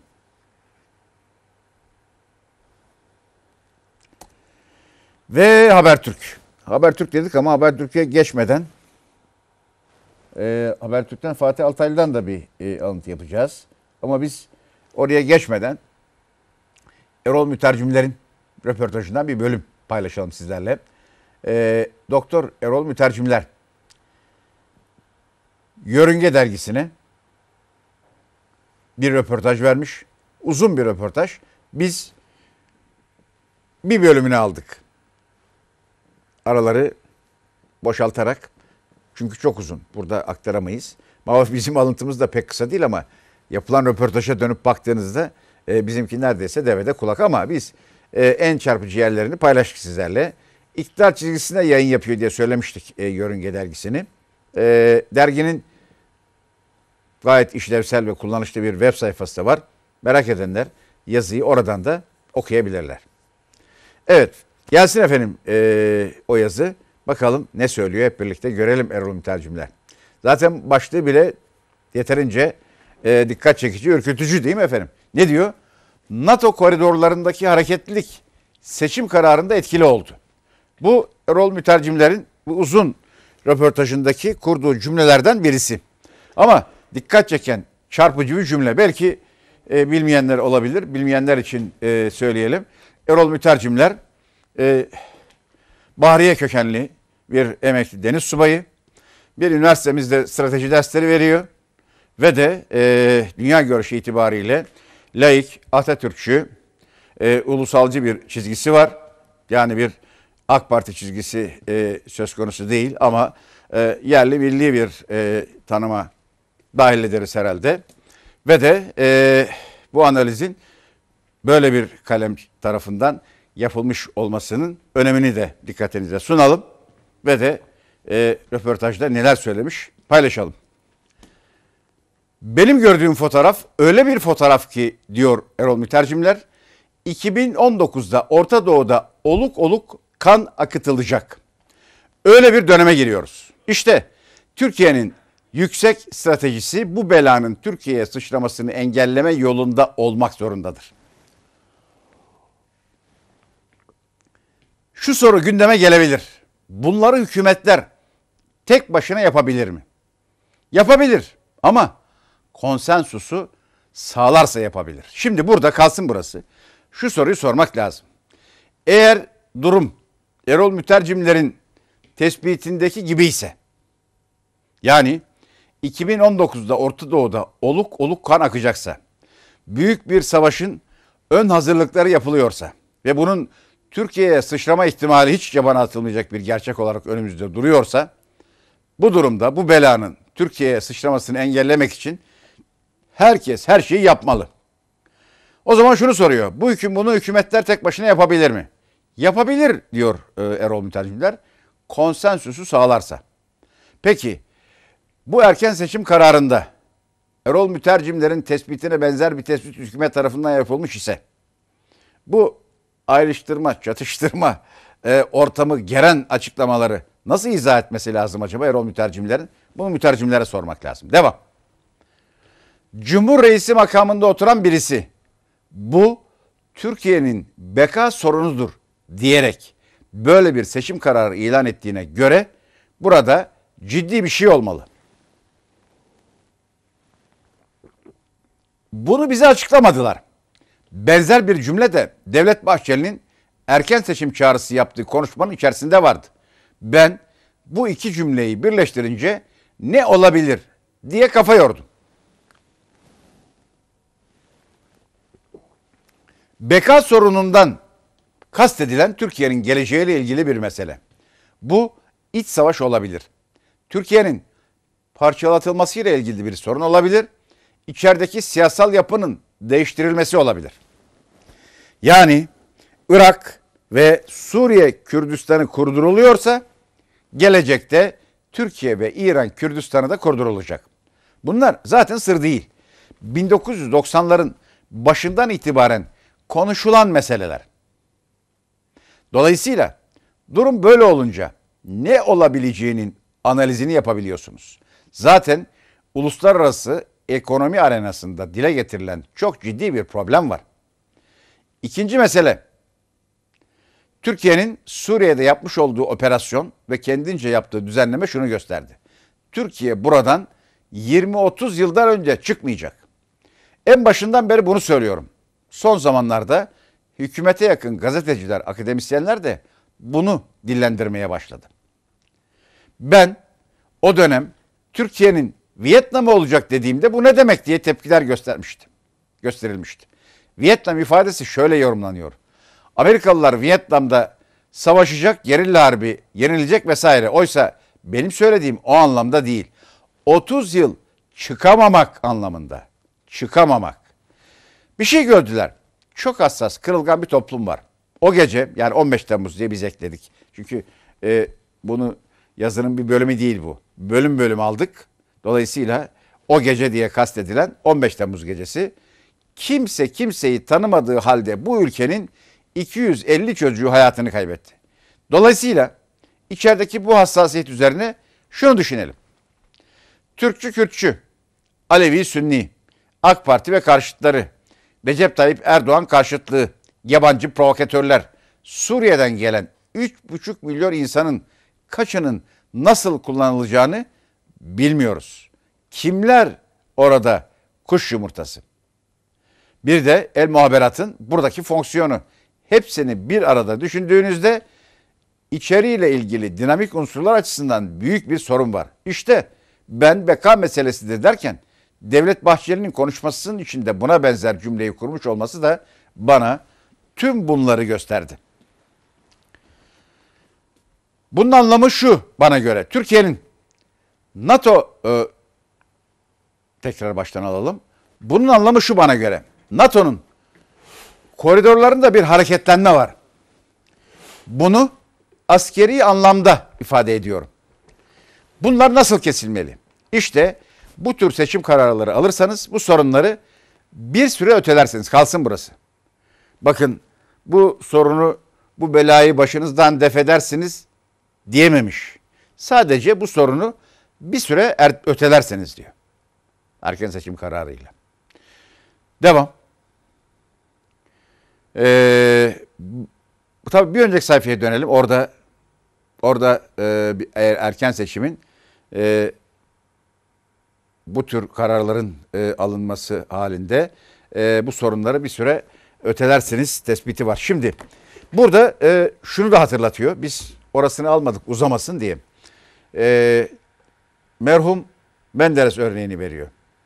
Menderes'in eğer erken seçim kararı alırsa 27 Mayıs darbesini önleyebileceğini, Eskişehir'e de malum 27 Mayıs öncesinde Eskişehir'e de bu niyetle gittiğini, daha doğrusu Eskişehir'e giderken kafasında bu düşüncenin olduğunu, ancak Eskişehir'e gittiğinde bunu açıklama fırsatı bulamadığını, çünkü yapılacak konuşmanın bulunduğu alanda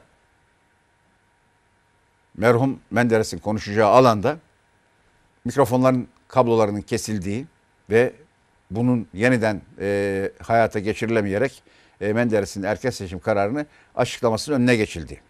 Dolayısıyla 27 Mayıs'ın önüne açıldığı örneğini veriyor. Yani Menderes erken seçim kararı alabilseydi 27 Mayıs olmazdı görüşünü teyit eden bir anekdot da aktarıyor. E, dolayısıyla bu süreçte almış olan erken seçimin NATO koridorlarından gelen o ayak sesleri, Türkiye'yi karıştırmayı hedefleyen o e, düşünceyi, böyle bir bilgisi var demek ki e, NATO koridorlarından gelen sesler dediğine göre. Demek ki bir istihbarat var elinde. Ee, e, Türkiye erken seçim kararıyla en azından bunu bir süre ötelemiş gibi gözüküyor. Evet öyle diyor bakın yazısında da zaten. Ve yazıyı da biz şöyle bağladık aslında uzun. Yani vakti olanlar o röportajı internet üzerinden de okuyabilirler. Devam. Son sayfa galiba bu. Bakın emperyal güçler açısından ya da uluslararası müesses nizamın belirleyicisi olan finans aktörleri tarafından bu bölgede en ideal savaş Türk-İran savaşıdır. Bir daha. Emperyal güçler açısından ya da uluslararası müesses nizamın belirleyicisi olan finans aktörleri tarafından bu bölgede en ideal savaş Türk-İran savaşıdır. Uzun süredir böyle bir şeyin kışkırtılmaya çalışıldığı konusunda burada biz çok yazı paylaştık. Eğer böyle bir hedef, böyle bir amaç varsa bundan uzak durabilmek için Türkiye elinden geleni yapmalı. Siyasi adreslerinde benzer sorumluluk içerisinde, medyanın da yine benzer sorumluluk içerisinde hareket etmesi şartıyla. Efendim, Habertürk'teyiz. Ee, Habertürk'ün adada tek başına başlıklı manşet haberini görelim önce. Kıbrıs'ın yalnız adli tıpçısı. Kuzey Kıbrıs'ın ölülerini 9 yıldır sadece Doktor İdris Deniz konuşturuyor. İzni bile yok demiş efendim. Kıbrıs'ın tek adli tabibiymiş.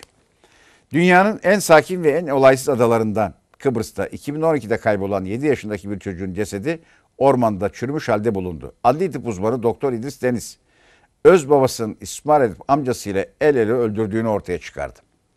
Uzman ihtiyacı duyup 9 yıl önce Kıbrıs'a yerleşen Deniz halen Kuzey Kıbrıs Türk Cumhuriyeti'nin tek adli tıpçısı. Tüm otopsileri tek başına yapıyor. 4 günden fazla izin şansı yok. Evet bu güzel bir haber.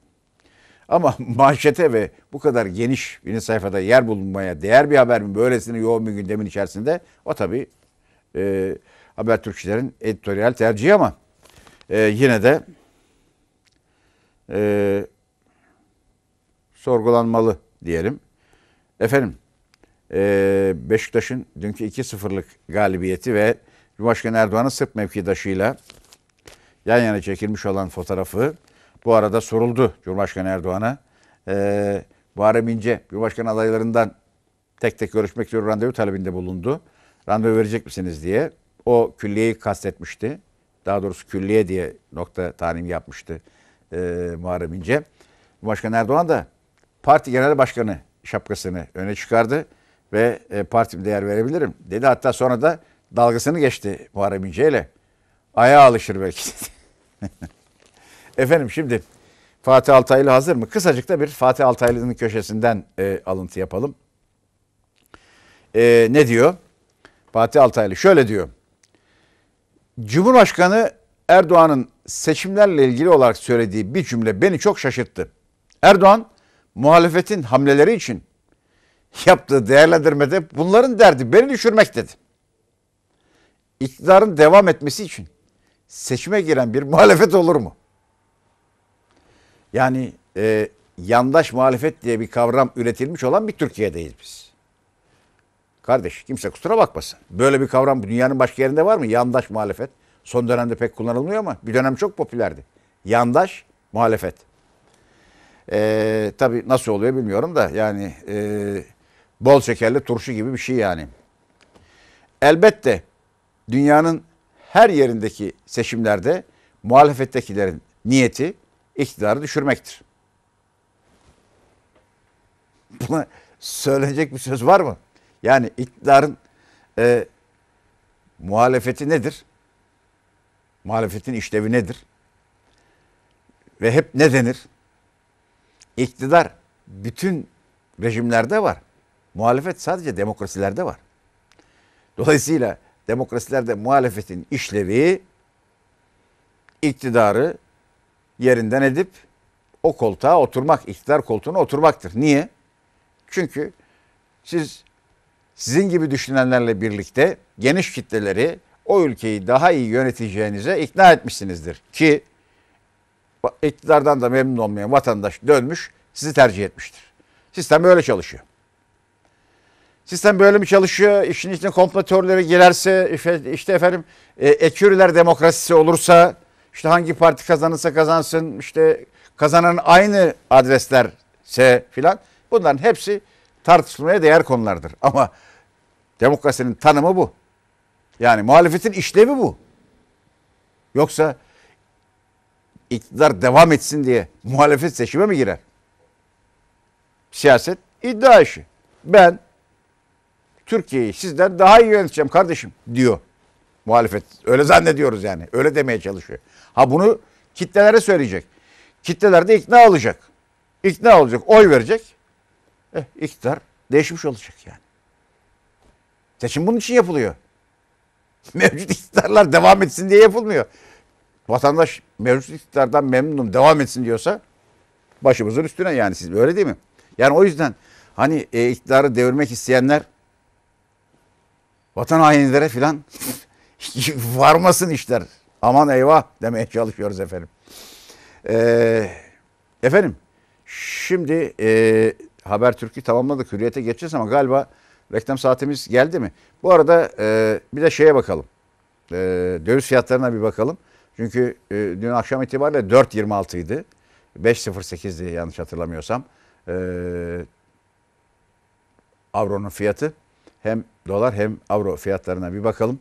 E, bu saat itibariyle ne durumda ve de e, tabii bize ciddi bir maliyeti var bunun. Onu da göz ardı edemeyiz. Özellikle enerji ithalatı dolayısıyla Türkiye'nin enerjide olan dışa bağımlılığı e, ve ithalatındaki yapısal sorun. E, dış ticaretindeki yapısal sorun daha doğrusu. Üretimindeki yapısal sorun. ihracatındaki yapısal sorun. Çünkü Türkiye ihracat yapabilmek için yüklü miktarlarda ithalat yapmak mecburiyetinde. Evet bir kuruş yukarı. 4.27 ve 510 kuruş yani avroda 5.10 ve ok yukarıyı gösteriyor. Bu gerçekten çok ciddi bir problemi gösteriyor efendim. Ee, burada kasıt vardır. Efendim Merkez Bankası müdahalesi bir işe yaramıyor. Birileri ekonomik operasyonlar yapıyor. Evet canım. Kış kışlığını yapacak. Siz kışın kışlığını yaptığını bilerek kış hazırlığı yapacaksınız. İktidarların, Türkiye yönetenlerin ve devletin görevi bu. Bizim bildiğimiz kadarıyla. Efendim reklam aramız var. Oraya gidiyoruz ama tamamladıktan sonra sizlerle yeniden buluşmak ve hem gazetelerimizi hem de köşe yazılarımızı paylaşmak için karşınızda olmak istiyoruz efendim.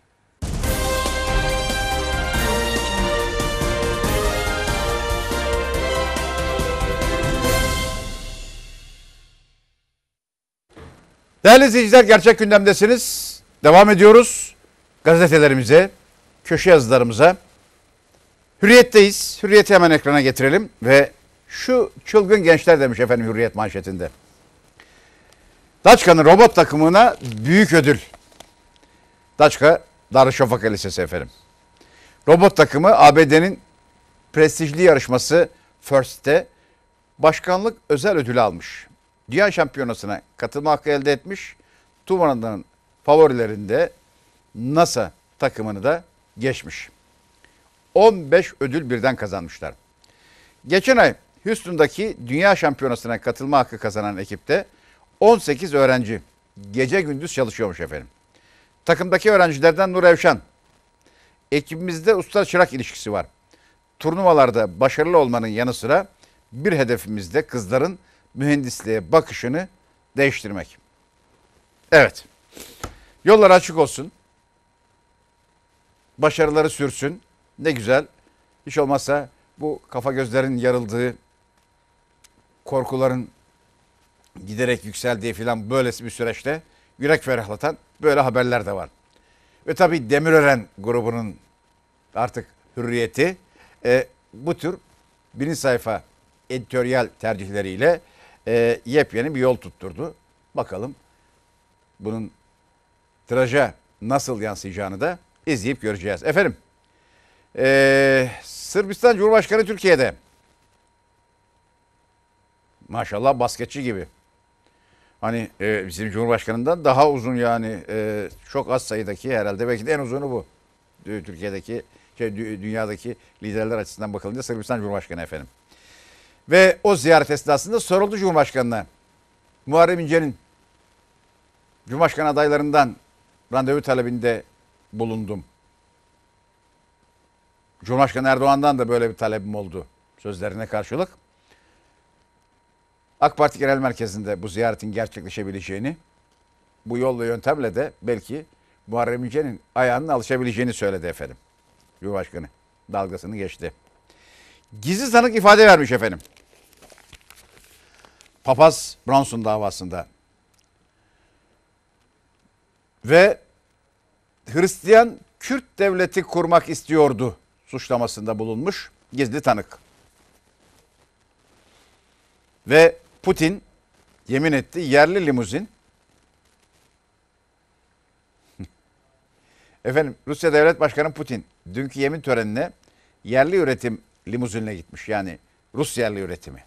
Rusya için yerli üretim. Özel olarak tasarlanan araç tank savar füzesine dayanıklıymış. Araçta gerekirse Putin'in nükleer silahları kontrol etme imkanı da bulunuyormuş efendim. Ve Cumhurbaşkanı adaylarından peş peşe vaatler gelmeye başladı. Ve farkındaysanız hep ekonomik vaatler. Aslında elini çabuk tutan AK Parti oldu. Hükümette olmanın da avantajıyla kapsamlı bir seçim paketi açıkladı AK Parti. Ve işte Muharrem İnce 19 Mayıs ve 29 Ekim'de tarihleri üzerinden de yaptığı politik göndermeyle Muharrem İnce gençlere beşer yüz lira yani her iki e, bayramda 19 Mayıs'ta ve 29 Ekim'de e, karşılıksız burs önerdi. Yılda bin lira. E, peki nasıl bursu vereceksin sorusuna da cevap verdi. Sarayı 6 ay halka açıp sonra kapatacağım tasarrufla, saraydan yapılan tasarrufla gençlere burs vereceğim demiş efendim. Ve Meral Akşener o daha kapsamlı ve çok iddialı bir e, projeyi dile getirdi. Vatandaşın borcunu satın alacağız dedi. Takipteki kredi kartıyla tüketici kredi borçlarının fona devredileceğini söylemiş. Partililere saldırdığı için de seçime gidiyoruz. Savaşa değil yorumu. Evet. Bu e, sürecin en tehlikeli yanı bu. Hele bir de az önce paylaştığımız e, Erol Mütercimler yazısında dikkate alırsak Allah korusun. Merkez Bankası hamlesi doların ateşini düşürmedi. Evet. Ateşi düşürmediği ortada. Bakın güne 4.26 ile başladı. Az önce sizlerle paylaştık. Ve 5.10'da avro. 510 kuruş. 426 kuruş. Gerçekten müthiş. Efendim peki. Ee, Ahmet Hakan'dan da bir alıntı yapalım. Hürriyete öyle devam edelim. Gelsin görelim. Yazının başlığı eşitsiz propaganda nelere yol açar? Bir mağduriyet duygusuna yol açar. Bu öyle bir yaman duygudur ki nasıl bir şey olduğunu bu zamana kadar hep mağduriyetten beslenenlere sorun anlasınlar. Hep aynı parti, hep aynı lider, hep aynı söylem bıkkınlığa yol açar. Öyle bir bıkkınlığa yol açar ki aman Allah muhafaza antimedya bir rüzgarın esmesine yol açar. Bu öyle bir rüzgardır ki neyi silip süpüreceği hiçbir zaman hiç belli olmaz. Gizlenenler, saklananlar, gösterilmeyenler tuhaf bir cazibeye yol açar. Öyle bir cazibedir ki bu hak etmeyenler bile hak ettiklerinden çok ama çok daha fazla ilgi görmeye başlarlar. Alternatif ve konvansiyonel olmayan mecralara hücuma yol açar. Öyle ki buna fısıltı adı verilen aşırı tekinsiz, süper yalancı, muazzam, berbat bir mecra da dahildir. Tabii işin bir de ahlaki boyutu var. Ama onun üzerinde bile durmaya gerek yok. Çünkü maalesef işin o boyutunu takan pek kalmadı memlekette. Evet. E, her alanda ama. Şimdi bir defa zaten hani e, seküler olsun diye etik ifadesi kullanılıyor. Oysa meslek ahlakı diye bir şey var değil mi? Her alanda. Siyaset ahlakı, siyaset yapma ahlakı filan. Ama şimdi e, bu medyada eğer muhalefete yer verilmezse bu muhalefete yarar. İktidara karşı tepki oluşur. Demeye getirmiş de şimdiye kadar böyle olmadı. Öyle değil mi? Son seçimlerde AK Parti büyük bir güçle baskın bir şekilde devlet kanalları da dahil kendi kontrol ettiği kanalları sonuna kadar kendine kullandı. AK Parti'ye yaradı. Bundan toplumun bir kesimi hiç rahatsızlık duymadı.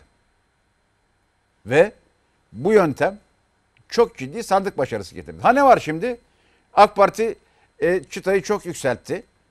Koalisyonlardan kurtulacağız derken mecburi seçim öncesi yapılmış ittifaklar zarureti ortaya çıktı ve 50 artı bir çıtası gündeme geldi.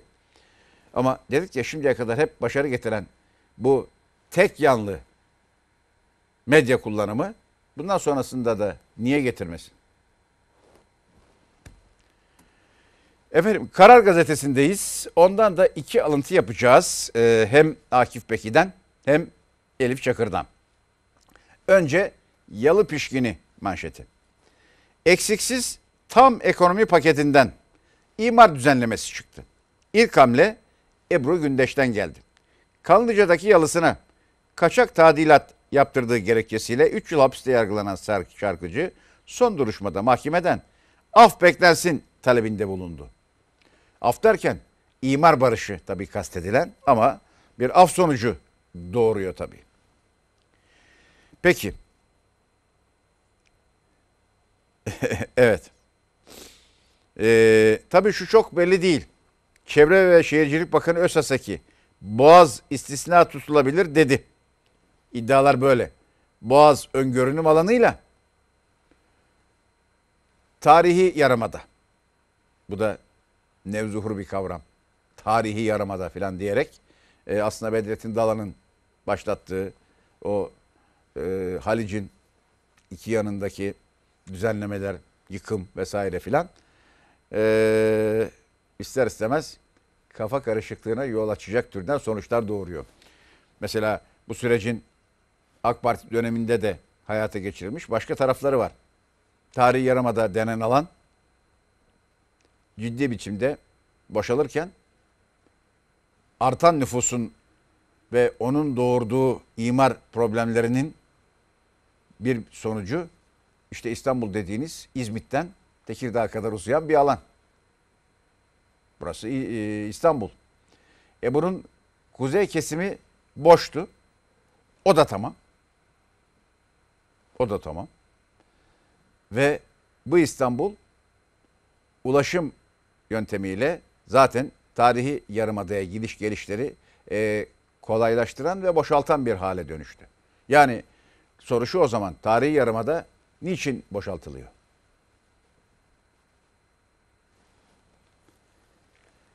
Efendim bileğinin hakkıyla kazandı. Kime bakalım? Türkiye Futbol Federasyonu yumrukların konuştuğu kebapçı baskını sonusu sonrası sözleşmesi feshedilen terime 9 milyon lira tazminat ödeyecek. Mahkeme 13 milyon lira isteyen Fatih Terim davasında hakkaniyet indirimi yapmış. İstifa etseydi 5 kuruş alamayacaktı. Şimdi hatırlayın nasıl oldu? Tabii o çirkin. yani kebapçı basıyorsunuz filan. Kebapçı baskını ve oradan e, baskını yapıyorsunuz. Kaçan siz oluyorsunuz filan. Neyse onlar bir tarafa. Sonrasında Türkiye futbol e, milli takımın hocası bu. Üstelik kariyeri de iyi olan. Yani örnek, numune-i imtisal. Peki bu çirkinlikler ve daha sonra Fatih Terim anlattı. Öbür tarafta hayır öyle değil diyemedi. İsterseniz istifa edeyim demiş. İstifa ederse bu parayı alamayacaktı. Yo devam et diyor. Federasyon ve Demirören. E, devam ediyor. Sonra ip kopuyor. E bu kez tazminat hakkı ortaya çıkıyor. Çünkü federasyon tek taraflı iptal etmiş sözleşmeyi. Ve işte sonrasında bu dava geliyor. Burada Fatih Terim'in anlattığı şekilde tersi yalanlanmadığı için böyle bir para ödenecekse bu parayı Erdoğan Demirören'in ödemesi lazım. Çünkü sorumlusu o. Onun davranışının ortaya çıkardığı bir sonuç bu. İstifa edeyim diyen adama istifa etme diyorsun. Üç gün sonra da görevden alıyorsun. Bu vahim bir uygulamadır. Bunun sorumlusu kimse o hesabı da o görmeli. Bu bir. İki. Şimdi hukuki açıdan ve kağıt üzerinde haklı olması Fatih Terim'in mahkeme kararıyla da bu hakkın tescil edilmesi sözleşmeler ve mevcut mer'i hukuk sebebiyle bu paranın meşru olduğu anlamına gelmez. Yani bileğinin hakkıyla kazandı. Yani sözleşme icabı kazandı. Bileğin hakkıyla falan diye bir şey yok. e, istifa edeyim talebinde de bulunmuş filan. Fatih Terim bu tarafıyla tamam. Haklı. Ama bu parayı almak ahlaki bir durum değil. Onu söylemeye çalışıyoruz. Meşru değil derken hukuki, hukuka uygun ama meşru değil. Efendim seçime gidiyoruz savaşa değil sözleri Meral Hanım'dan geldi. Gerçekten eee, bu konuda herkesin sorumluluğu davranması lazım. Ve o sorumluluğu Meral Hanım da gösterdi. İyi Parti Genel Sekreteri Aytun Çıray da gösterdi. Müsavat Dervişoğlu yangına benzin döktü. Bundan uzak durmak, kaçınmak lazım. Efendim şimdi iki yazı paylaşacağımızı söyledik. E, ikisi de Karar Gazetesi'nden. Önce Akif Beki'den. Gelsin görelim. Sonra Elif Çakır'dan. AK Parti adeta kendisine mi karşı? Bu yazı iki bölümden oluşuyor. Biz ikinci bölümü tercih ettik. Cumhurbaşkanı Erdoğan'ın geçtiğimiz pazar günkü manifestosu üzerine kaleme alınmış. Aslında o manifestonun en zayıf yanı 16 yıldır iktidardasınız. Bunları niye yapmadınız sorusu var. O manifestonun ve AK Parti'nin en zayıf yönü bu. Şimdi yazın öyle şöyle. O vaatler yani Cumhurbaşkanı Erdoğan'ın e, manifestodaki ahdim olsun ki diye başlayan vaatleri. Yalnızca Cumhurbaşkanı Erdoğan'ın yerine seçildiğinde aday Erdoğan'ın yapacaklarını içeriyorsa, iktidara talip olan AK Parti'nin iktidarda olan AK Parti'ye karşı kazandığı takdirde seçimden sonra tutmayı vaat ettiği sözleri kapsıyorsa, muhalefeti adeta FETÖ'nün siyasi ayağı, muhalefete destek veren halkı da adeta FETÖ'nün seçmen ayağı olarak göstermekte bir sorun görülmüyorsa, medyadaki karartma nedeniyle ekranlarda bir muhalefet boşluğu doğduğu ve o boşluğu doldurmak için iktidarın kendi kendine muhalefet etmesi lüzumundan hareket ediliyorsa, yani olay bir muhalefet yapılacaksa, onu da biz yaparız olayıysa, başka anlamı yoksa, yolsuzlukla mücadelenin hedefi CHP'li belediyelerden ibaretse kalsın burası. Bakın burada çok güzel, hoş bir e, ifade var. Yolsuzlukla mücadelenin hedefi 3Y vurgusu da yaptı ya Cumhurbaşkanımız. Sadece CHP'li belediyelerin yolsuzluklarıyla mücadeleden ibaretse devam. Yasaklarla mücadeleden CHP'nin milli şeflik dönemine dek giden eski Ankara'daki yasaklı kafayla mücadele kastediliyorsa, medya ambargosu, aleyhte konuşturmama, itiraza, hayat hakkı tanımama gibi baskı ve yasakların geçmişte kaldığı, AK Parti öncesi yönetimlere mahsus olduğu, herkese gayet açık ekranlarda eşit, adil ve kendinden emin bir siyasi yarışa girildiği düşünülüyorsa, olan şudur. AK Parti kendini aşmak üzere yine kendisine meydan okumuyordur. Sadece sandıkta muhalefeti aratmamak, yoklukları hissettirmemek için seçim öncesi AK Parti'ye sureta karşı görünüyordur. O kadar. Evet. Yazı böyle. Ve Elif Çakır. O da bir başka tarafa dikkat çekmiş. Cumhurbaşkanı Erdoğan'ın Kayseri'de vurguladığı münafıklar çetesi e, ifadesinin de yer aldığı konuşması var ya. O konuşmada o münafıklar çetesi e, konuşmasında e, aslında kamuoyunda tartışılan bir konuyu yüksek sesle seslendirmiş oldu. Yani Cumhurbaşkanı Erdoğan'la AK Parti'yi ayıran, Cumhurbaşkanı Erdoğan'a oy verirken AK Parti'de yaşananları ve olumsuzlukları dikkate alarak AK Parti'yi cezalandıran, Cumhurbaşkanı Erdoğan'a oy verdiği halde AK Parti oy vermeyen bir kitle. Ve bununla e, Cumhurbaşkanı Erdoğan'ın başkan olmasının önünü açan ama AK Parti'nin meclisteki çoğunluğunu engelleyen bu yaklaşım. Bu yaklaşıma ilişkin Elif Çakır nasıl bakmış? Şimdi onu paylaşacağız. Erdoğan'la AK Parti nasıl ayrıştırıldı demiş. AK Partili seçmenlerin bir kısmı Cumhurbaşkanlığında oyunu Erdoğan'a verirken parlamentoda oyunu AK Parti için kullanmayabilir. Birincisi bu durum nasıl analiz ederiz dedikten sonra birincisi durum Cumhurbaşkanı Erdoğan'ın dediği gibi olabilir. Diyelim ki Cumhurbaşkanı Erdoğan'ın dediği gibi bu hadise AK Parti'nin içine sızan münafıklar çetesinin AK Parti'yi bitirme projesidir. AK Parti içine koydular fitne kazanını ve AK Parti ayrı, Erdoğan ayrı, asıl önemli olan Erdoğan diye kaynatıyorlar. Münafıklar çetesinin fitnesi AK Partili seçmenin bir kısmını etkilemeye başladı. Ve AK Parti lideri Cumhurbaşkanı Erdoğan bu partisine yönelik bu operasyonu fark etti. Eğer durum böyleyse AK Parti'nin cevaplaması gereken asıl soru şudur. AK Parti tabanı 15 yıldır AK Parti'yi zayıflatmaya yönelik kaynatılan fitne kazanlarının üstüne su döküp söndürürken, türlü iddialara kulaklarını tıkarken, AK Parti'yi yıkmayı hedef edinen münafık çetelere yüz vermezken bugün neden bu fitne çetelerinin sözüne itibar eder hale geldiler? Neden Erdoğan ve AK Parti ayrıştırma fitnesi bugün karşılık bulmaya başladı? AK Parti neden şimdi sorusunun üzerinde ciddi ciddi düşünmelidir. Demek ki AK Parti tabanında AK Parti'ye yönelik haklı itirazlar var. Yozlaşma, kibir, ahlaki konularda AK Parti'de ciddi hatalar görüyor. Dahası AK Parti'nin bugün ortaya koyduğu aile fotoğrafından memnun değil ki Erdoğan ve AK Parti ayrıştırma fikri cazip gelmeye başladı ve karşılık buluyor. İkincisi AK Parti tabanı Erdoğan'ın aşkım, sevdam dediği partisinin Erdoğan'a operasyon çekecek bir harekete dönüştüğünü düşünüyor. Çünkü AK Parti'nin Erdoğan'a operasyon çektiğini, teşkilatların yoldan çıktığını, Erdoğan'a karşı direnç gösterdiğine, Erdoğan'ın sözünü dinlemediğine inanıyor olabilir.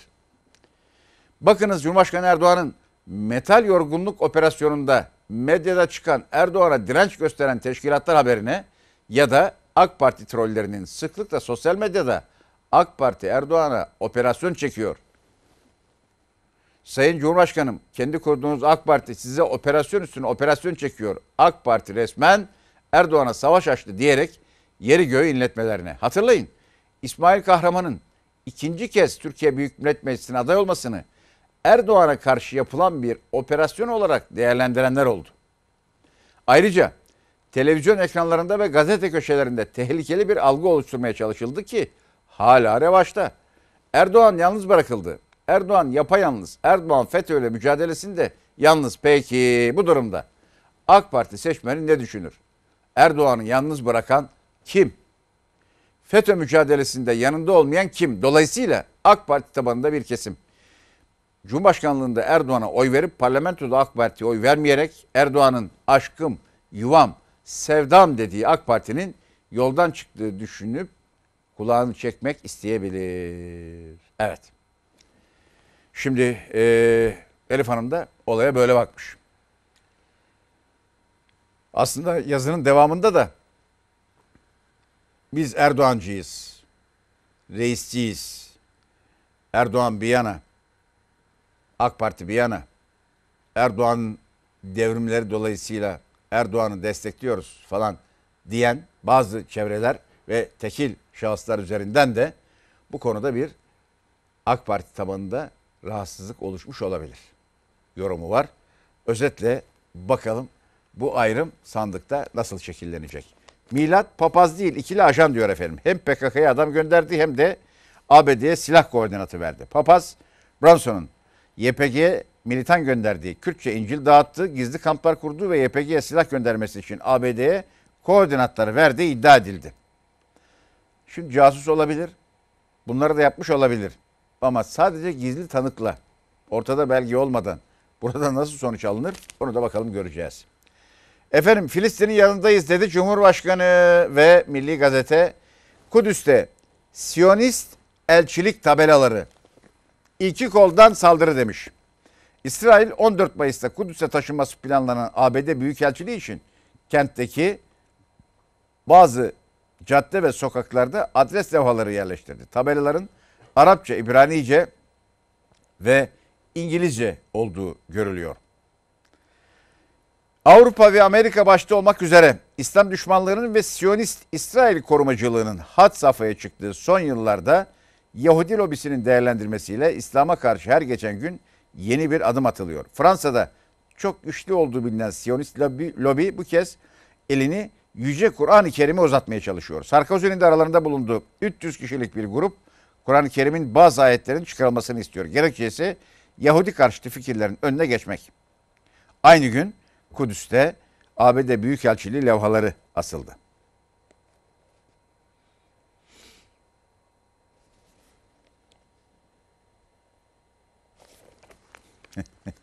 Güzel olmuş. Efendim Mehmet Şimşek ekonomiden sorumlu başbakan yardımcısı yaptığı açıklamada cari açıktaki kötüleşmeyi kabul etti. Yani rakamlar ortada zaten. Neyi kabul edilir? Bir de Mehmet Şimşek böyle işlerde daha düz. Şimşek cari açığa bakılınca sanki bir kötüleşme var gibi görüldüğü ancak petrol ve altın hariç bakıldığında görece bir iyileşme. Geriye ne kaldı demişler yani. Efendim milliyetteyiz. İki cihanda davacıyız dedi Cumhurbaşkanı Zeytin Dağı ödülleri ve hedefte İsrail vardı. İsrail için her iki cihanda hem dünyada hem ahirette davacıyız. Filistin ve Kudüs konusunda İsrail'i eleştiren Cumhurbaşkanı Erdoğan Birleşmiş Milletler'de reformun olmazsa olmaz olduğunu söyledi. Konutta dev kampanya. Vergiler düşüyor. Tapu harçları ve KDV ve ve düşen nedir efendim? E, faizler. Yani konutta yer alan o e, stoğun erimesi, eritilmesi için şartlar oluşturulmaya çalışılıyor. Ambargo dar boğaza sokmaz. Aselsan Yönetim Kurulu Başkanı konuşmuş efendim. Türkiye'nin savunma sanayinde uygulanacak bir ambargo nedeniyle dar boğaza girmeyeceğini söylemiş. Yönetim Kurulu Başkanı Görgün, S-400 füzeleri alımı nedeniyle ABD'nin F-35 projesinden Türkiye'ye çıkarmasının bu savaş uçağı programını çökertebileceğine dikkat çekmiş. Evet, ee, bir yanda da Türkiye karşıtı bir hava Amerika Birleşik Devletleri'nde eserken, estirilirken öte yandan ABD Kongresi'nde de Senato'da e, Türkiye'ye bir silah ambargosu konusu gündeme gelmiş. Bu konuda çalışma yapan senatörler var. Tabi buradan da Türkiye'ye yazılan mektuplar var.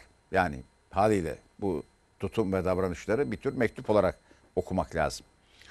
Şimdi e, S-400, F-35 bunu takasa getirmek gibi bir durum söz konusu. Anlaşılan. Ama bunun arkasından bir e, ambargo gelir mi? 74'tekine benzer. Onu bilmiyoruz. Bakalım göreceğiz. Ve Orta Doğu Trump Kudüs'te kaos arıyor. ABD'nin Orta Doğu'da yeni bir kriz çıkarmaya yönelik hamlesi tabela asma olayıyla yeni bir boyut kazanıyor. FETÖ'cü oylar kime imza oldu dedi Devlet Bey. Peşini bırakmıyor. Gündemde sıcak tutmaya devam ediyor. MHP Genel Başkanı Devlet Bahçeli 7 Haziran seçimlerine bağımsız milletvekili adayı olarak giren FETÖ'cü isimlerin aldığı oyları tek tek saydı ve vehameti ortaya koyan bu soruyu e, sordu. Şimdi e, Hakan Şükür de dahil hatırlarsanız böyle bir bağımsız adaylık operasyonu yapmıştı cemaat. Şimdi bunlar bir takım oylar aldılar. Bu oyları FETÖ'cü olarak sayıp bunların siyaset hesabı getirmemiz lazım. Öyle ya. E şimdi gelinen nokta bu. E bunun için çok kolay bir çözüm var. Kanun hükmünde kararnameler var aslanlar gibi. Çıkarırsınız.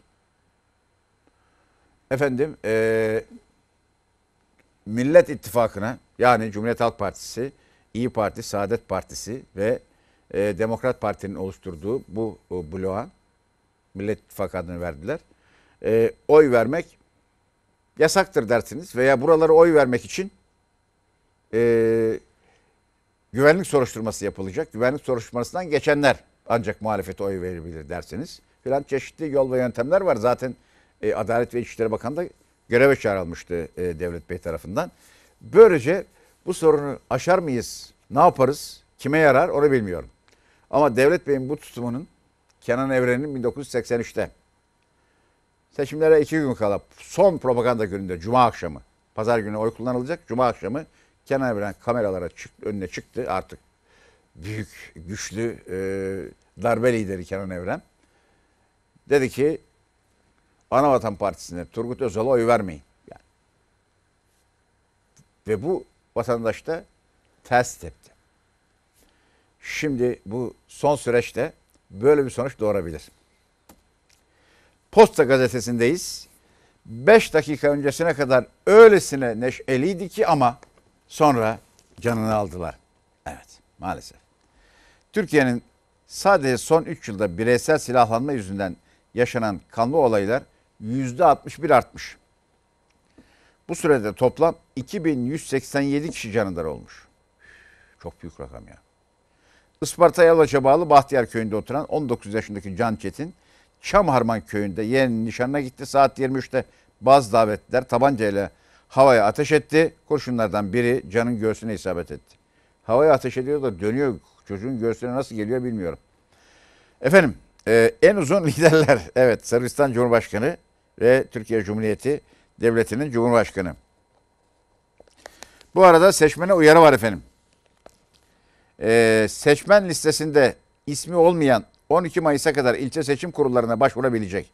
Evlerinden yeni taşınanlar oy kullanabilmek için yeni adreslerini 12 Mayıs'tan önce nüfus müdürlüğüne sonra da ilçe seçim kuruluna bildirmek zorunda. Geldik sabaha. Kurdukları tuzağa kendileri düşecek.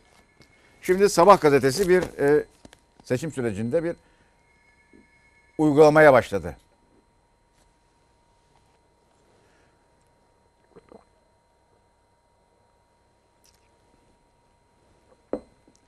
15 Temmuz şehitlerinin yakınları, 15 Temmuz gazileri ve başka gaziler, şehit yakınları üzerinden bir siyaset ve AK Parti propagandası yapıyor. Sayın Cumhurbaşkanı'nın böyle bir istismara ihtiyacı var mı? Neden bu böyle bir yöntem bu? Vallahi bu, bu ucuzluğa ne gerek var? E bakın ne diyor başbakanımız? Vatandaşın hesabı 15 yıldır şaşmadı. Algı operasyonları devam ediyor. Bunlar seçime kadar tırmandırılacak.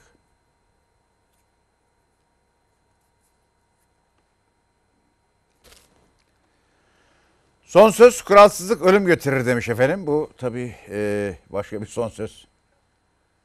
Yanlış son söz yüklemişsiniz arkadaşlar. Sözcü Muharrem İnce ile bir röportaj yapmış. Muharrem İnce de e, İskandinav ülkelerinin e, cumhurbaşkanları gibi bir cumhurbaşkanı modeli e, söylemiş ama yani biliyorum bisiklete nerede binecek e, Muharrem Bey. Bisiklete binen, kendi otomobilini kullanan, 3000 korumayla gezmeyen bir cumhurbaşkanı olacağım. E, biraz Ahmet Necdet Sezer hatırlarsanız e, buna benzer uygulamalar yapardı. İşte markette sıraya girer, kuyruğa girer. E, Cumhurbaşkanının konvoyu kırmızı ışıkta durur filan. Böyle bir takım e, şeyleri vardı. E, farklılıkları vardı. E, ama yani bizim toplumda bir kesimde takdir edilse de geniş kitlelere bakıldığında çok fazla karşılık bulacağını zannedenlerden değiliz. CHP'nin adayı İnce seçilince neler yapacağını, neleri değiştireceğini tek tek anlattı diyor efendim. Saraylar, saltanatlar olmayacak. Seçilirsem bisiklete binen, kendi arabasını kullanan, 3000 korumayla gezmeyen, misafirlerini Atatürk'ün mekanı Çankaya Köşkü'nde ağırlayan bir cumhurbaşkanı olacağım. Devleti yönetenler tasarrufu öğrenecek. Şimdiye kadar bunu çok kimse söyledi ama AK Parti'de dahil hayata geçirer olmadı. Merhum Ecevit de dahil. Yerli makam arabalarından filan söz edildi. Olmadı. Saraylar, saltanatlar olmayacak. Türkiye'yi Beştepe'den değil Çankaya'dan yöneteceğiz. Ciddi sorunlar var. Özellikle ekonomide ilk işim yargı bağımsızlığını sağlamak olacak. İlk adım o halin kaldırılması demiş efendim. 4,5 milyon kişinin kredi borcunu satın alacağız dedi Meral Hanım. Kapsamlı bir vaatte bulundu. Ee, Türkiye Dayanışma Fonu'nun toplantısında konuştu. 4,5 milyon dar gelirlinin yasal takibe düşmüş 8 milyon liralık kredi ve kredi kartı borçlarını satın alınacağını ve silineceğini söylemiş. Ve 16 yıldır uzayan kuyruk, her geçen gün büyüyen işsizler ordusu. Kilis'te 3 bin kişinin 6 ay çalışacağı iş için 15 bin kişi başvurmuş. Yani bir kadroya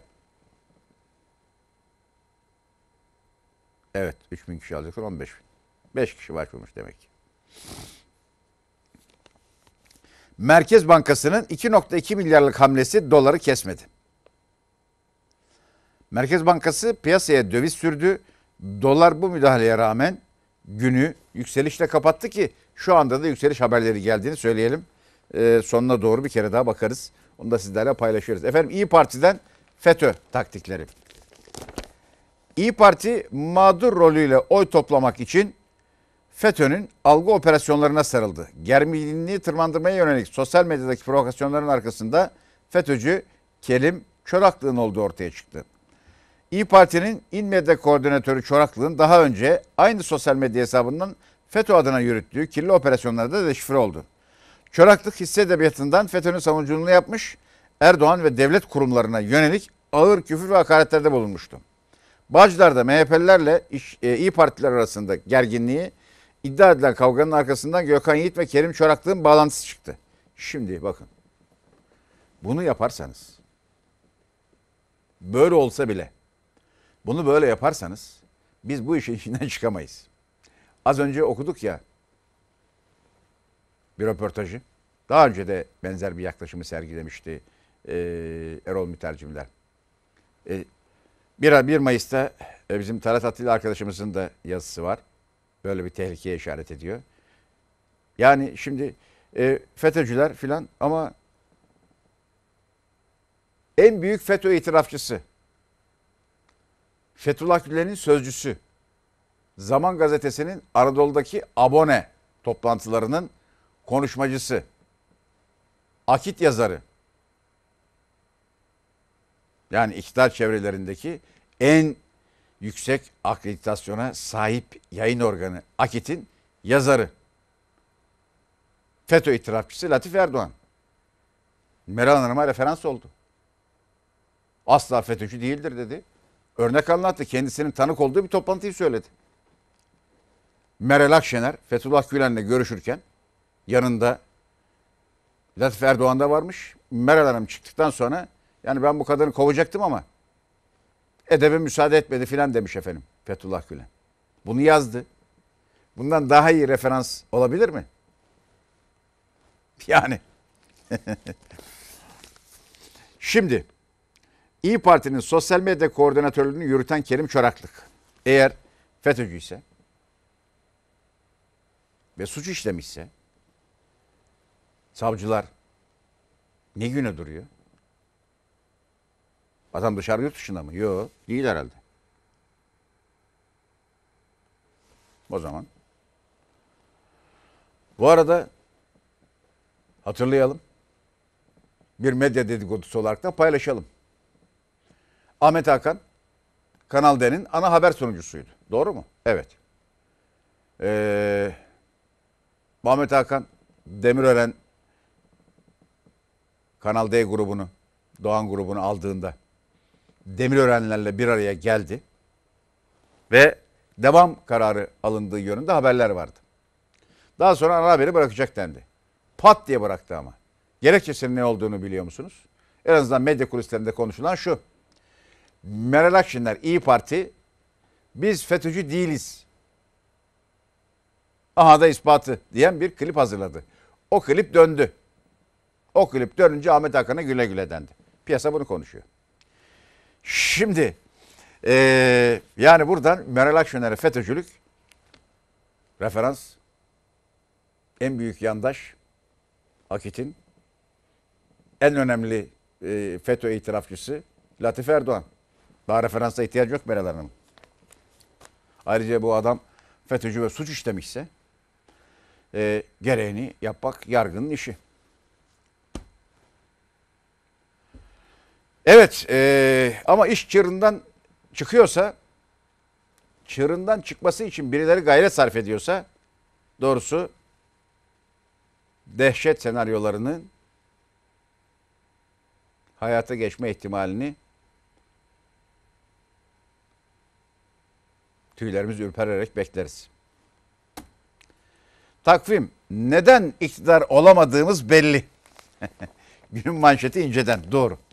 Ana muhalefetin Cumhurbaşkanı adayı Muharrem İnce. CHP Genel Merkezi'nde asansöre binemedi. Partililere böyle tepki gösterdi.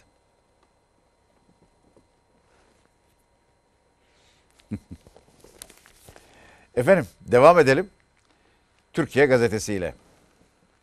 Başkanlık kabinesi demiş. Ankara'da seçim sonrası hesapları. Erdoğan önünde 3 stratejik karar var. Milletvekili listeleri yapılırken yeni kabine ve belediye başkan adayları şekillendirilecek. Kulislerde konuşulanlara göre Erdoğan mevcut bakanlardan 7-8 ismin milletvekili aday listeleri olan listesine koymayacak. Başbakan Binali Yıldırım'ın milletvekili listesinde yer almaması Cumhurbaşkanı yardımcılığı veya İstanbul Büyükşehir Belediye Başkanı adaylığı gündeme getirecek. Ekonomi yönetiminin tek elde toplanıp Berat Albayrak'a verileceği bu durumda Mehmet Şimşek'in aktif siyaseti bırakabileceği belirtiliyor. Bekir Bozdağ, Abdülhamit Gül, Nurettin Canikli'nin Cumhurbaşkanı yardımcısı olabileceği Fikri Işık'ın Kocaeli Belediye Başkanı adayı olarak değerlendirilebileceğine yönelik yorumlar yapılıyor. Şimdi bu bu tür e, haberler böyle ideolojik altyapısı olan gazetelerde veya birçok gazetede e, genellikle ya sipariş üzerine veya temsil ettiği grubun çıkarları ve ilişkileri çerçevesinde bir tür e, kamuoyu oluşturma gayretiyle yapılacak türden haberlerdir. Burada böyle bir niyet var mı yok mu bilmiyorum. Ama bu niyetleri herkes bilir. E, dolayısıyla ona göre ihtiyatla e, bakmak gerekir. Ama şu doğru, bunu biz de söyledik. Evet, e, bakanların şayet milletvekili olması halinde milletvekilliğinin düşmesi dolayısıyla bakan yapmayı düşündüğü isimleri milletvekili listelerine koymayacağı muhakkak. Çünkü e, parlamento aritmetiğinin nasıl şekilleneceği konusunda ve üstelik parlamento aritmetiğinin de kaygı duyulduğu da en üst düzeyde Cumhurbaşkanı tarafından seslendirildiğine göre e, orada bir eksilmeye yol açacak tutum sergilenmeyecek. Dolayısıyla milletvekili listelerini daha kolay hazırlayacak Cumhurbaşkanı. Bakan yapacaklarını dışarıda bırakacak. Eh, belediye başkanlıkları için işte Fikri Işık Kocaeli mesela. E, Faruk Çelik'in Bursa için düşünüldüğünü, e, Faruk Çelik'in de buna hazır olduğunu falan söyleyebiliriz. Başka isimler de söz konusu e, haliyle. Ve işte burada e, nasıl bir fotoğraf çıkacağını göreceğiz. İki cihanda davacıyız. İsrail yönetimi için böyle dedi. Efendim saldırıya geçtiler. Hedefleri İslamiyet. Medine'ye kilise iddiaları şimdilik yalanlandı. Bu yetmiyormuş gibi mukaddes kitabımıza da dil uzatıldı.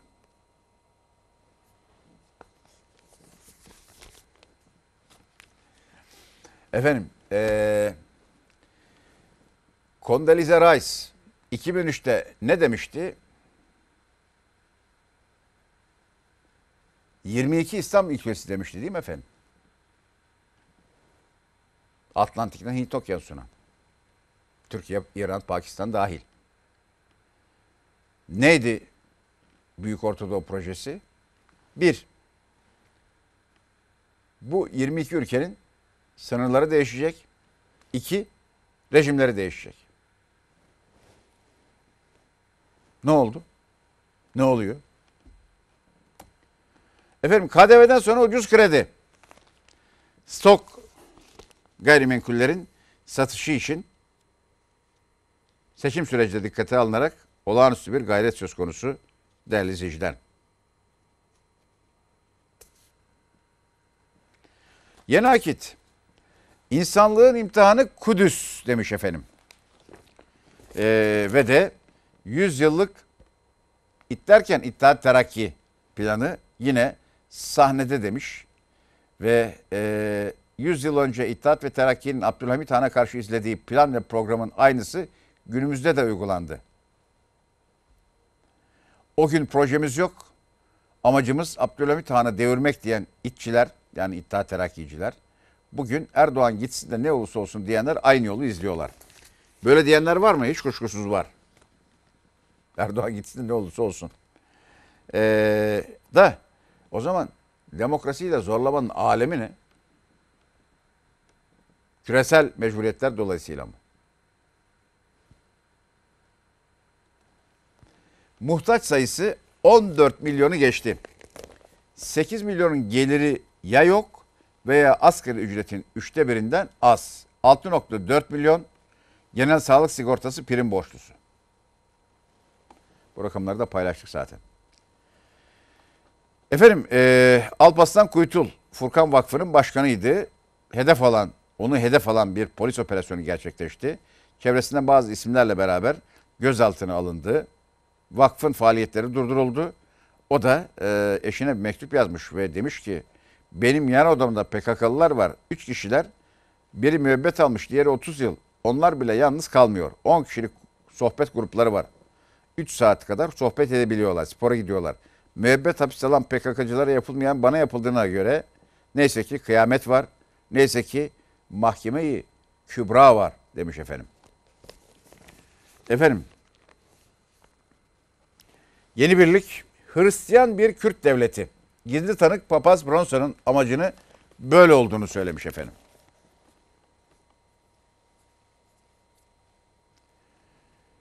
Evet, e, şimdi FETÖ büyük ölçüde tasfiye edildi ama e, doğrusunu söylemek lazım. Bir saniye söyleyeceğim. E, adet haline getirilen bu uygulama devam ediyor. FETÖ'cülerin topluma e, getirdiği bir maliyet bu. İktidar da aynı yöntemi uygulamaktan memnun. Şimdi e, birer kuruş düşmüş efendim. Onu söyleyelim. İkişer kuruş mu? İkişer kuruş galiba. Bir daha göreyim bakayım. Dört kaç? E, euro. Şey avro. E, dolar. Emrah. Bir göreyim.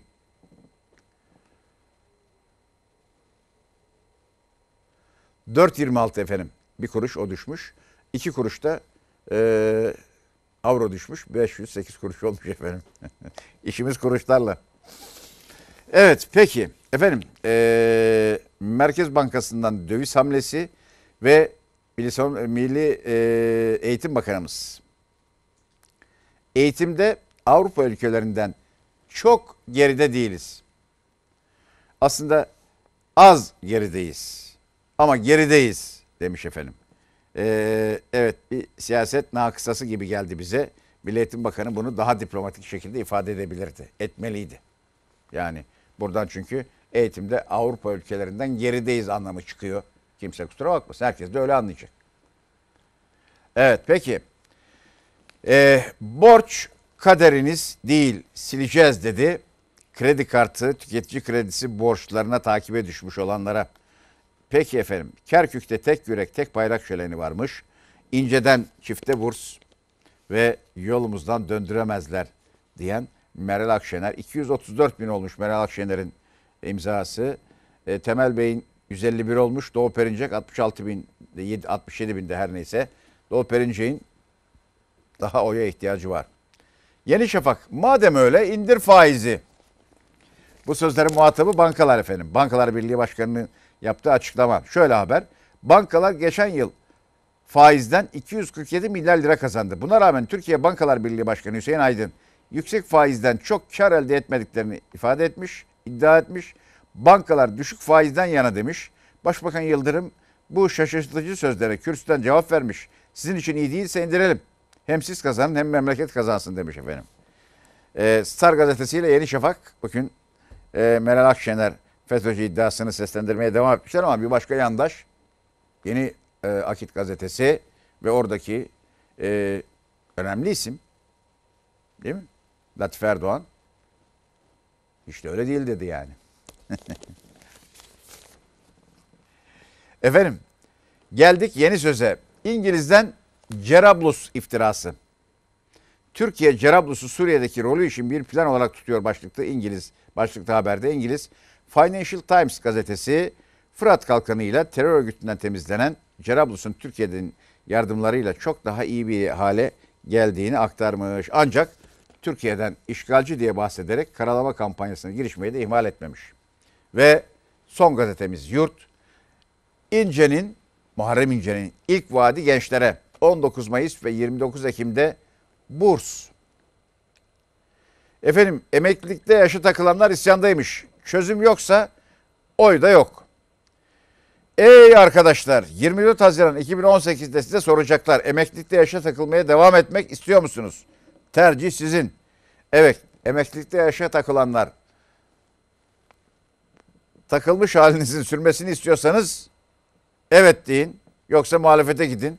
E sayıya bakmak lazım. Bu sayı ciddi bir sayıysa eminiz iktidar partisi bu sesi duyar, duymuştur bile. Bir torba yasa kapsamında veya seçim sonrasına ertelenmiş bir vaat olarak pekala gündeme gelebilir. Efendim bugün de süremizi tamamladık ama yarın sabah 07.15'te gerçek gündemde yine sizlerle buluşmak istiyoruz efendim. Hepinize iyi bir gün diliyorum. Hoşçakalın.